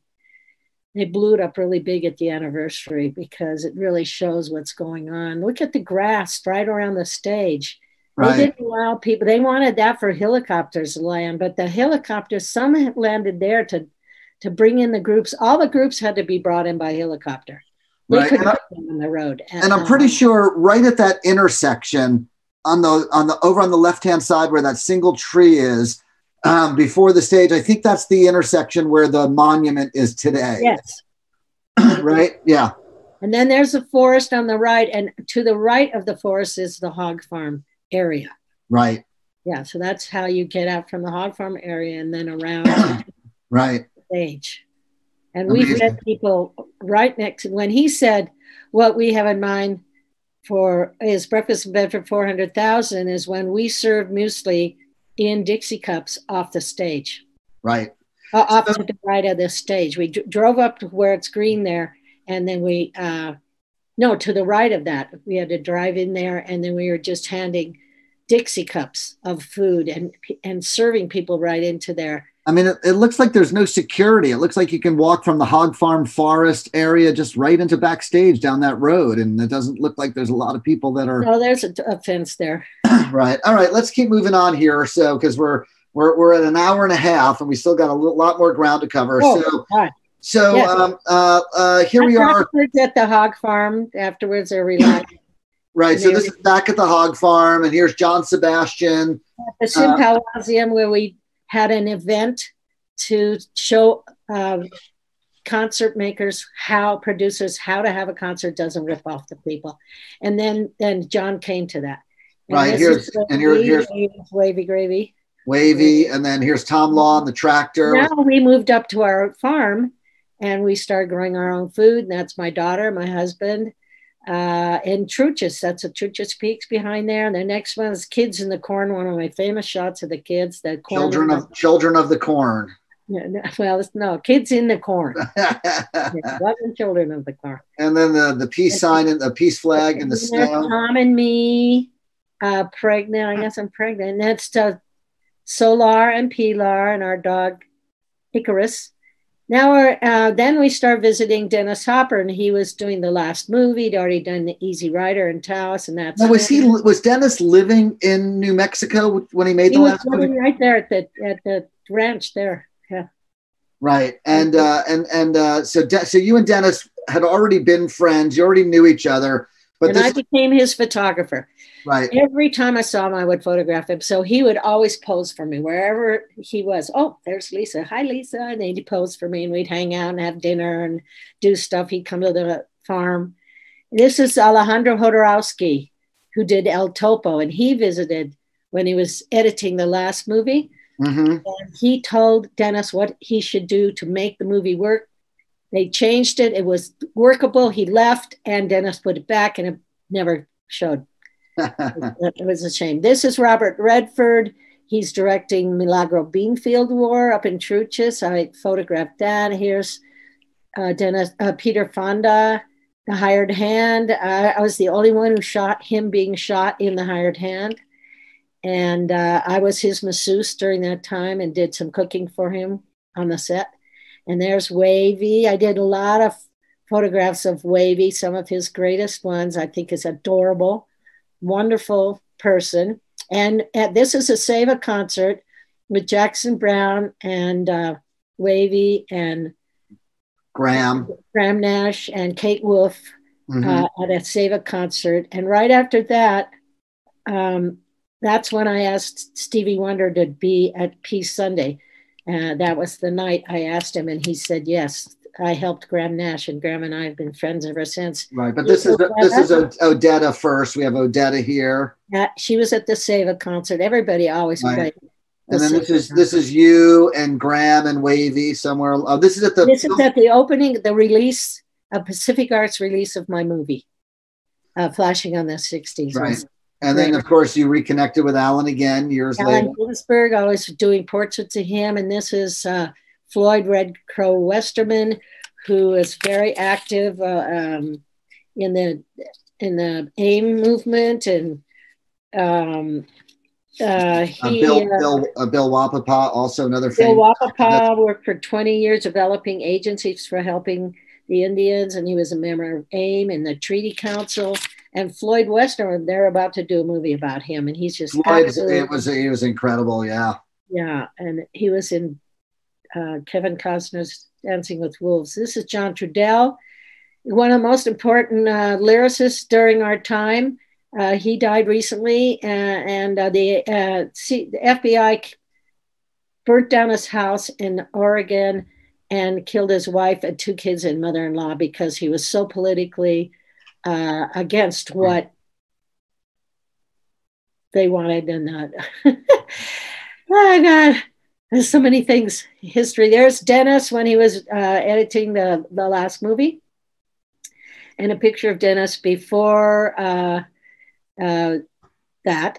And uh, these are some of the pictures I shot of Dennis. This is of him in a painting at his house in uh, Reginald's house. He loved that painting. And then I took a picture of him holding a gun that he gave me. This is at my house here. He gave me this gun. I said, hold it so I could prove there was your gun. And this has been in various museum shows and it's been on a cover of magazines. This was at uh, the Bill Graham Memorial with Jackson Browne, Crosby, Stills, Nash, and Young. This is the first picture I ever took of Graham Nash uh, at Rudy Records and here he is when I was shooting him for Hemp Times. Uh, I had him on the cover of Hemp Times. Here he is in concert with Stills and Nash. Jackson Browne behind his gallery, uh, behind his studio when I was shooting uh, John Trudell for him, and he turned. Uh, he was driving away. He turned around and looked me straight in the eyes, and that's one of my favorite pictures of him. This yeah, love, love, that mirror shot. It's such a great shot. I have to rush through this now, and there's Peter Pete Seeger, Pete Seeger, the most important person during the all the beginning of of uh, folk music. Pete Seeger and absolutely was incredible, and and I got to know him a little bit, shoot him, and that's Peter Yarrow or Peter Paul and Mary, uh, John Nichols who wrote. Um, uh, Milagro Beanfield War uh, and another 35 other books too. And there's uh, um, who is that guy? Jerry Garcia. yeah, I know it is. It's Jerry Garcia here in Santa Fe. He played yeah, that's here. about eighty, about eighty-four, I believe. John Morris put on those concerts, the voice of Woodstock. Oh, okay. Yeah, and here's uh, Timothy Leary when I was shooting him for my movie Flashing on the '60s. You mean Ram Dass? This is Ram. Excuse me, Ram Dass. And this is the cover of his other book. It's called Still Here. And then we have uh, Peter Rowan. I did three album covers for him. Wonderful Hi Peter. And uh, Bonnie Raitt and Jimmy Cliff, Kris Kristofferson, the um, Beach Boys. And this is a great shot because, you know, this is rare because it's in, you know, fairly recent times. I don't know, maybe 10 or 15 years ago, but it's got Brian Wilson and Al Jardine with Mike Love. And, and so, you know, this yeah, is at one time they got back. That was at the Woodstock uh, Museum. Okay, got it. Very cool. This is Roger Daltrey when I shot him for Hemp Times. John Lee Hooker, that was in uh, uh, San Francisco. Um, Richie Havens, that was in Telluride. Ramblin' Jack Elliott, wonderful friend of mine, still alive today. And then we have, um, what's Carlos. next? Carlos. Right. And uh, De- Carlos. Uh, then we have, um, Michael Shrieve.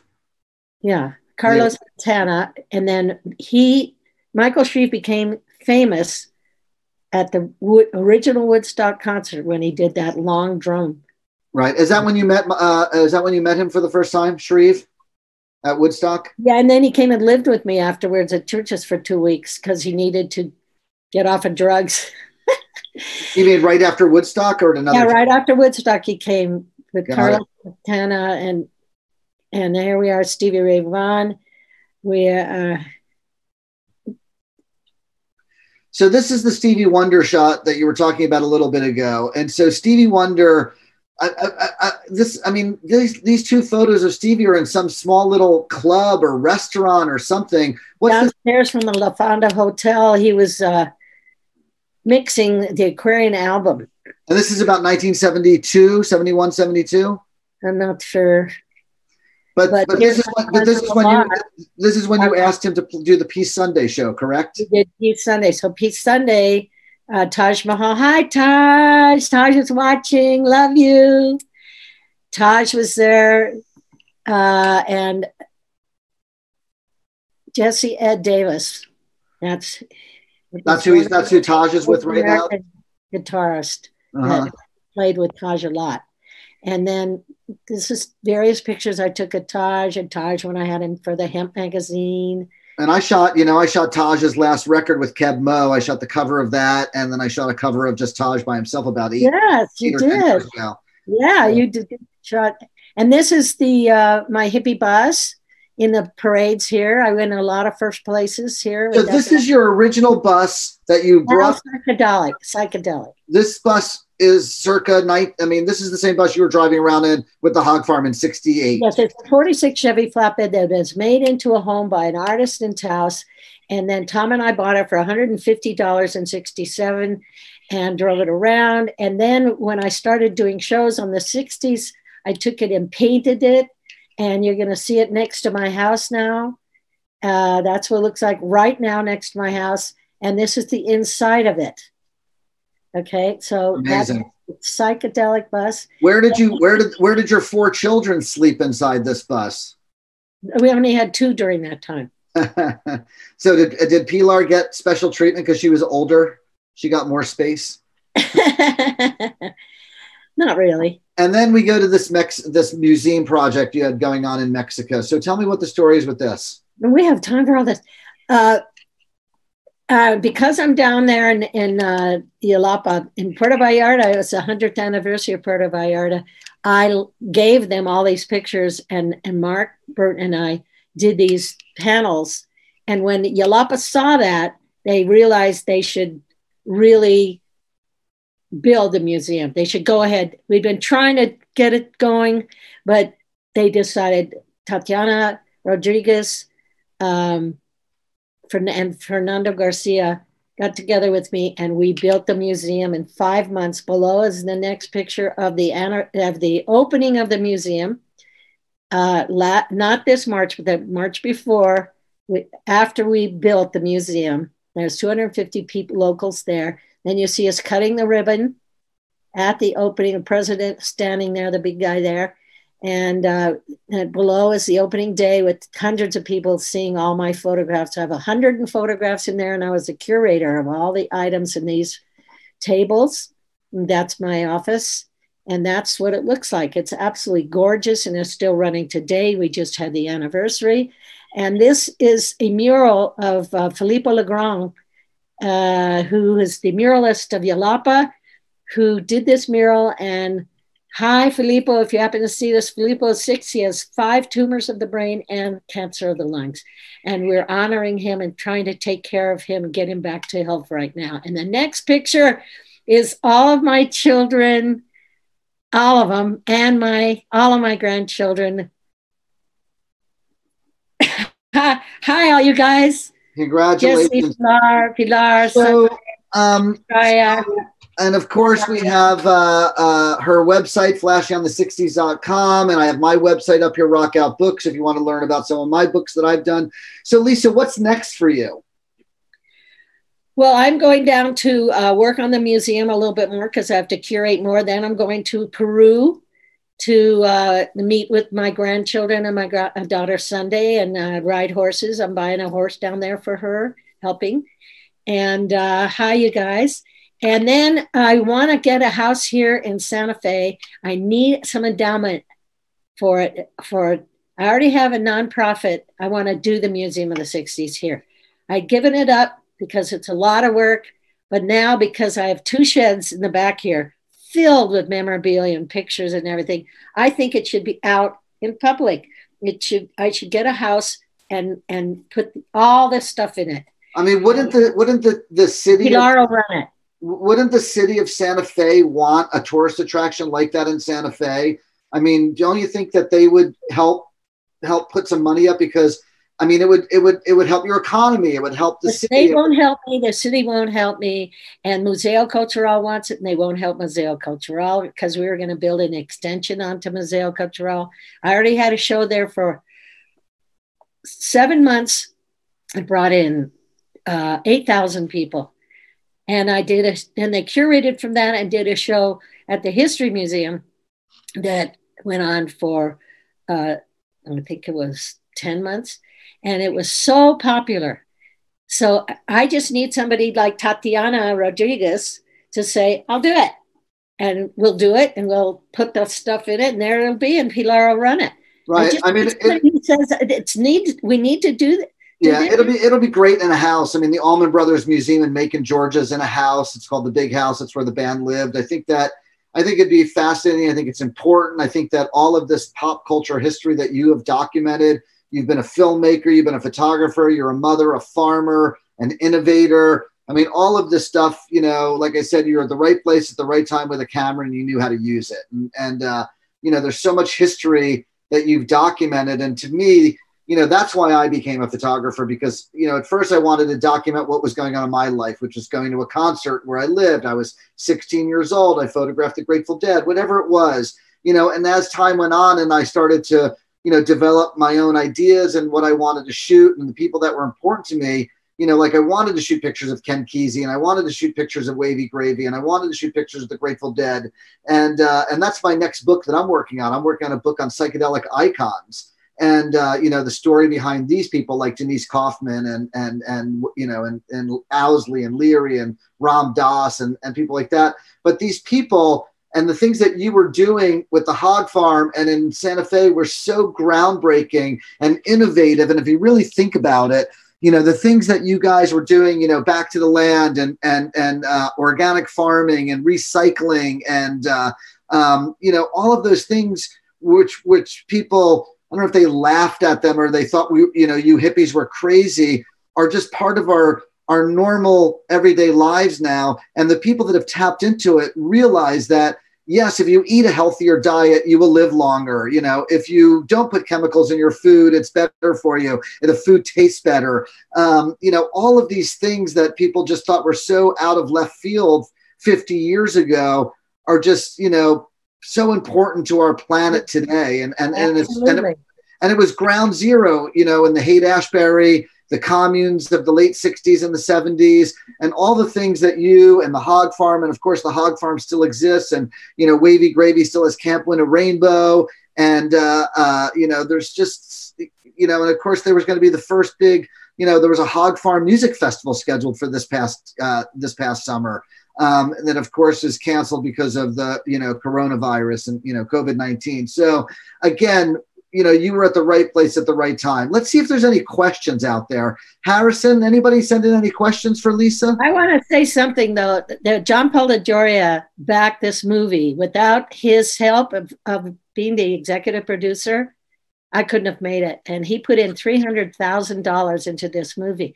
And when people give me money, to do things, I do them. Good things come from it. Yeah, and and and if if somebody wants to help with do the museum, we will do the museum. It's not that we won't do it. We're yeah, no, you get things done for sure. And is is that person John John Paul is he is that John Paul Mitchell the hair? He is John Paul DeJoria who owns Paul Mitchell Products. Right. He he made Paul Mitchell happen. He was the one who who sold it and got it going. And Got then it. he had Patron Tequila, and then he sold that. Got But it. He's a, he's a great entrepreneur, and he is a great person. He he has love, peace, and happiness. Uh, he, he helps all sorts of groups all over the world all Well, the hopefully time. he'll hopefully he'll help you in some fashion with the museum, the Museum of the '60s. Um, Harrison, the voice of God in the background. Do we have any questions for Lisa? Definitely. So the first question is from Allison, and Allison wants to know across your entire career, who has been your favorite person or event to photograph? famous event or person to photograph. Your favorite. Favorite. Well, I, I think Bob Dylan. So, what are your, some of your uh, favorite memories of working with Bob Dylan? That question is from Jimmy. Um, I was kind of scared when I was shooting Bob Dylan, but I, recently I've seen there's thousands of pictures of Bob Dylan out there. So I wasn't the only person shooting him. So I think he was used to being shot. So when I'm sitting there at the dining room table and I'm shooting him, he was okay with it. I think he made a face once or twice, but he let me do it. Even though I was intimidated by who he was, uh, he let me do it. But uh, he's, to me, he's the most important lyricist and songwriter today, still. And I just turned my grandson on to him, uh, and we played No Direction Home, which is a great movie about his life. And I think he, he's a gifted person that, that we should all, all you young people out there, should get to know Bob Dylan and his work. Absolutely. And Woodstock would would be the, you know, even though I didn't take any fantastic pictures of Woodstock other than Tom putting up the teepee, that event was very, very important. And I've shot a lot of other things like that too. I mean, I've taken aid to El Salvador. I helped with the Navajos uh, getting uh, with Bonnie Raitt and Jackson Browne and and uh, John Trudell getting money to give them more sheep and to, st- stop the help stop the relocation. I've done so many different uh, shoots like that that there's and also in Peru when they were flooding in Peru and people were losing their beds and they're going down the river. I would go to their village. I said, "What do you need? We need beds." And I go online and get money. Eloise DeJoria gave me five thousand dollars. I bought 120 beds, 240 blankets, and and uh, got you- these people back in their beds. And and and I shot everything. So and and aid to El Salvador, uh, uh, Pastors for Peace in 1999. I I shot that. We and we made a movie and, and a year later we were out of el salvador so i've shot many many many things that to me are all very important and i wish i could show you all of them i would like to show all of that because i have an office in the back here that's filled with hundreds of thousands of pictures and slides and and movies and Did you, uh, uh, uh, Lisa? Did you? Um, uh, were you at those uh, protests with Wavy and Jackson, where the anti-nuke protests, where they got arrested and Jackson was playing guitar in jail? Were you part of those? No i wasn't no i wasn't there during that time no Got it. All right, Harrison, got another question? Definitely. How did your experiences with Maria Sabina and the mushrooms impact your artistic eye? how to do what for my artistic eye How did it impact your artistic eye? Oh, Maria Sabina. Um, just before I shot those pictures of Maria Sabina, I gave her a massage, and she had a tumor on on a side of her stomach, which she she died from that. But in the book, it says not all foreigners are bad. Uh, someone gave me a massage, and she noted me, and to be able to photograph a Mazatecan Indian for a cover of a book and more pictures inside. I was just blessed. And Sally Grossman flew us there in a small, small airplane for me to be able to take that picture. So uh, to me, it was just a really great event for me to to be. To, somebody chose me to do that. When people choose me to do uh, photographs for them, I am very honored because I think that I can capture who the person is. Did taking the mushrooms though inspire you or or propel your your creative eye in any way? That psychedelic experience with her and the mushrooms. I didn't take mushrooms with her. I took mushrooms with another uh, curandero at that time. And did and did did, the, did those psychedelics or taking LSD inform your creativity at all? No, I think uh, I've been already taking LSD and before that, and I think LSD is very important for for creativity. That's for sure. You have to be careful how you take it. You can't just take it. You got to prepare for it. You know, it can't be. Uh, when I did a show up in uh, in Canada, the kids would came up and said, "How, how do you take?" Uh, uh, LSD. And I said, well, first of all, you have to have a guide, you have to have a certain place. You can't just take it because it's not good for you. You're going to go on a trip and you're not going to know what's happening. And you need somebody to help you through that trip. Mm-hmm. You know, and that's what we did at Woodstock is we help people through their trips. They're walking around with hundreds of thousands of people and they're going, Mom, where am I? Mom, you know, and we're saying, okay, come on, we're going to go into this little tent and you're going to What's your name? My name's Bob. Okay, Bob, you're going to be okay. I am? Yeah, just calm down, Bob. You'll be just fine. And the next person who comes in looking like you with their toe in their mouth, that's what Wavy tells the story, is that you're going to help them out, you know? So uh, uh, there's a really great story about uh, when they asked us, uh, we had these red armbands with uh, flying pigs on it at Woodstock. And if you saw somebody wearing that, you could go to them and they'll help you. And so the, pro- the producer said, How many uh, armbands would you like? So you could do that. And we said 250,000. Because if you get somebody else involved, who's then going to help and everybody's helping everybody and that's what the woodstock generation was is everybody helping everybody else and being good to everybody else people on the stage saying that's your that's your friend that's your neighbor joan Baez saying that john morris saying that that that everybody took care of everybody else at Woodstock, and that's why it was peaceful. And all these riots and and people that are being damaged because they're demonstrating don't need to happen. We don't need to get the police in there. And we did not have police at Woodstock. And Black Lives Matter. We do need to protect people who are demonstrating. And we do have to stop all this killing that's going on. It's just horrible right now. And especially during the COVID, when people are stuck in their houses and they get angry and then they get out of their houses and they they act out and that's not good. So we need to calm down and everybody needs to help everybody else get through this. It's not easy. And of, and of course, we all need to make sure that we vote we need to vote, and that is super important. So if you can't vote in person, get your absentee ballot and get it in the mail now. Do My car is covered with bumper stickers for Biden and Harris. They are the whole car is covered with it. And yeah. people when I drive down the street go, "Yay, yay!" And because and I say, yes, we must vote. And so I'm out there promoting voting. If we don't vote, we're going to have a really hard time for the next four years. We're going to have a really hard time for the next four generations. Yes. Um, Harrison, you got another question? We got time for one or two more. Sure. At which point did you realize that Woodstock would become such a legendary event? And that question is from Michael R.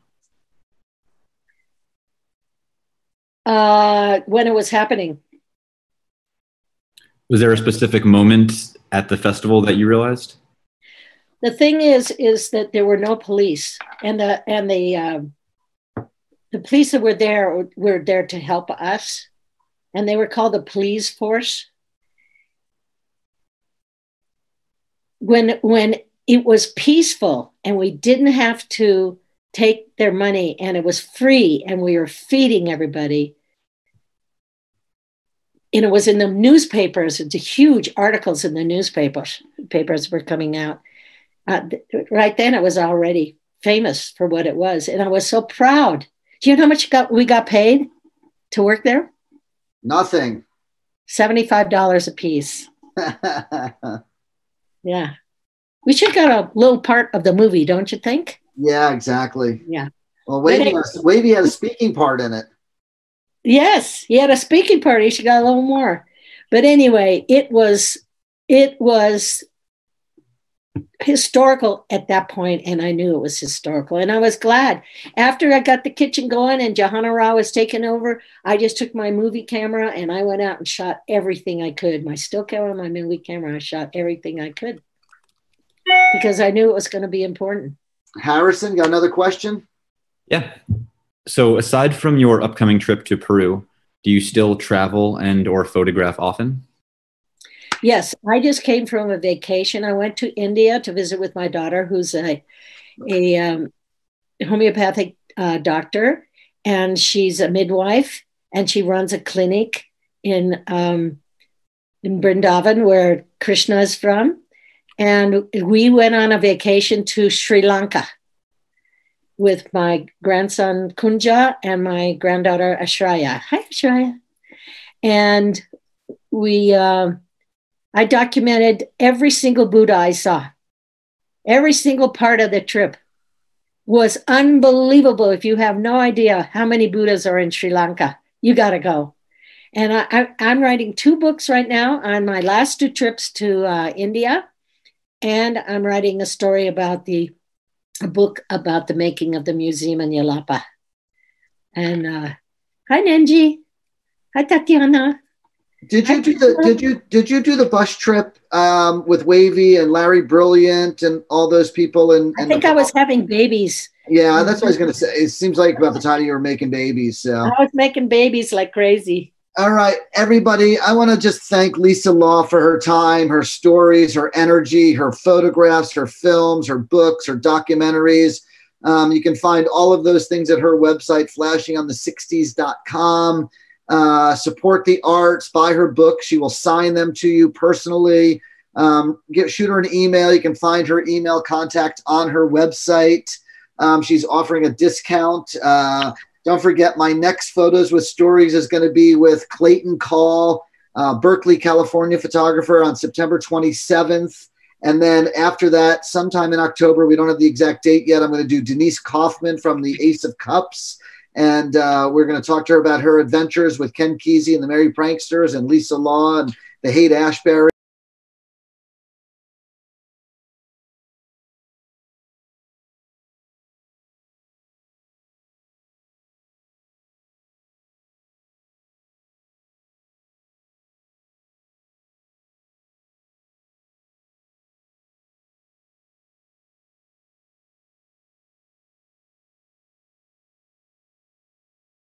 With stories. She's not a photographer. Um, Lisa, your work is fascinating. Like I said, I'm envious of all the incredible places that you've been um, and involved with it for a long time. Uh, just like my daughter Ricky is also involved with photography. So, like you keep saying that your daughter Pilar is going to take over everything for you. My daughter is doing the same thing with me. Let me Although I've got, lo- I've got longer to go than you, hopefully. Let me tell you one thing. If you feel that you might have a little sickness from the COVID, boil water, put three drops put a towel over your head and breathe that in into your lungs, into here. And when it gets here, it will kill anything that's there. And the doctors aren't telling you this. And then have a, a ginger and turmeric and lemon tea that you drink warm all day long. Gargle with salt water once a day, but do that with the breathing. And I will tell you, you will have no symptoms after you do that kind of breathing. Get that mm-hmm. hot wet air into your lungs. And take this for what it is because Lisa is a hippie and the hippies know how to heal. And that's right? from India. Came in from India that that healing. All right. Well, there you go. Lisa, yes. thank you so much. Thank you, everybody. Photos with stories. Thanks to the team, Will and, and, and Harrison for the questions. Thanks, everybody, for watching. Taj, thank you for everything you've done thank for Lisa and, and me. I love photographing you, thank Taj. You, so um, uh, we'll see you all again soon. Uh, enjoy the rest of your Sunday. Uh, peace out from New York and Santa Fe for now. Uh, I'll be back in San Francisco in just a couple of days. All right. Cheers, everybody. Thanks. Adios.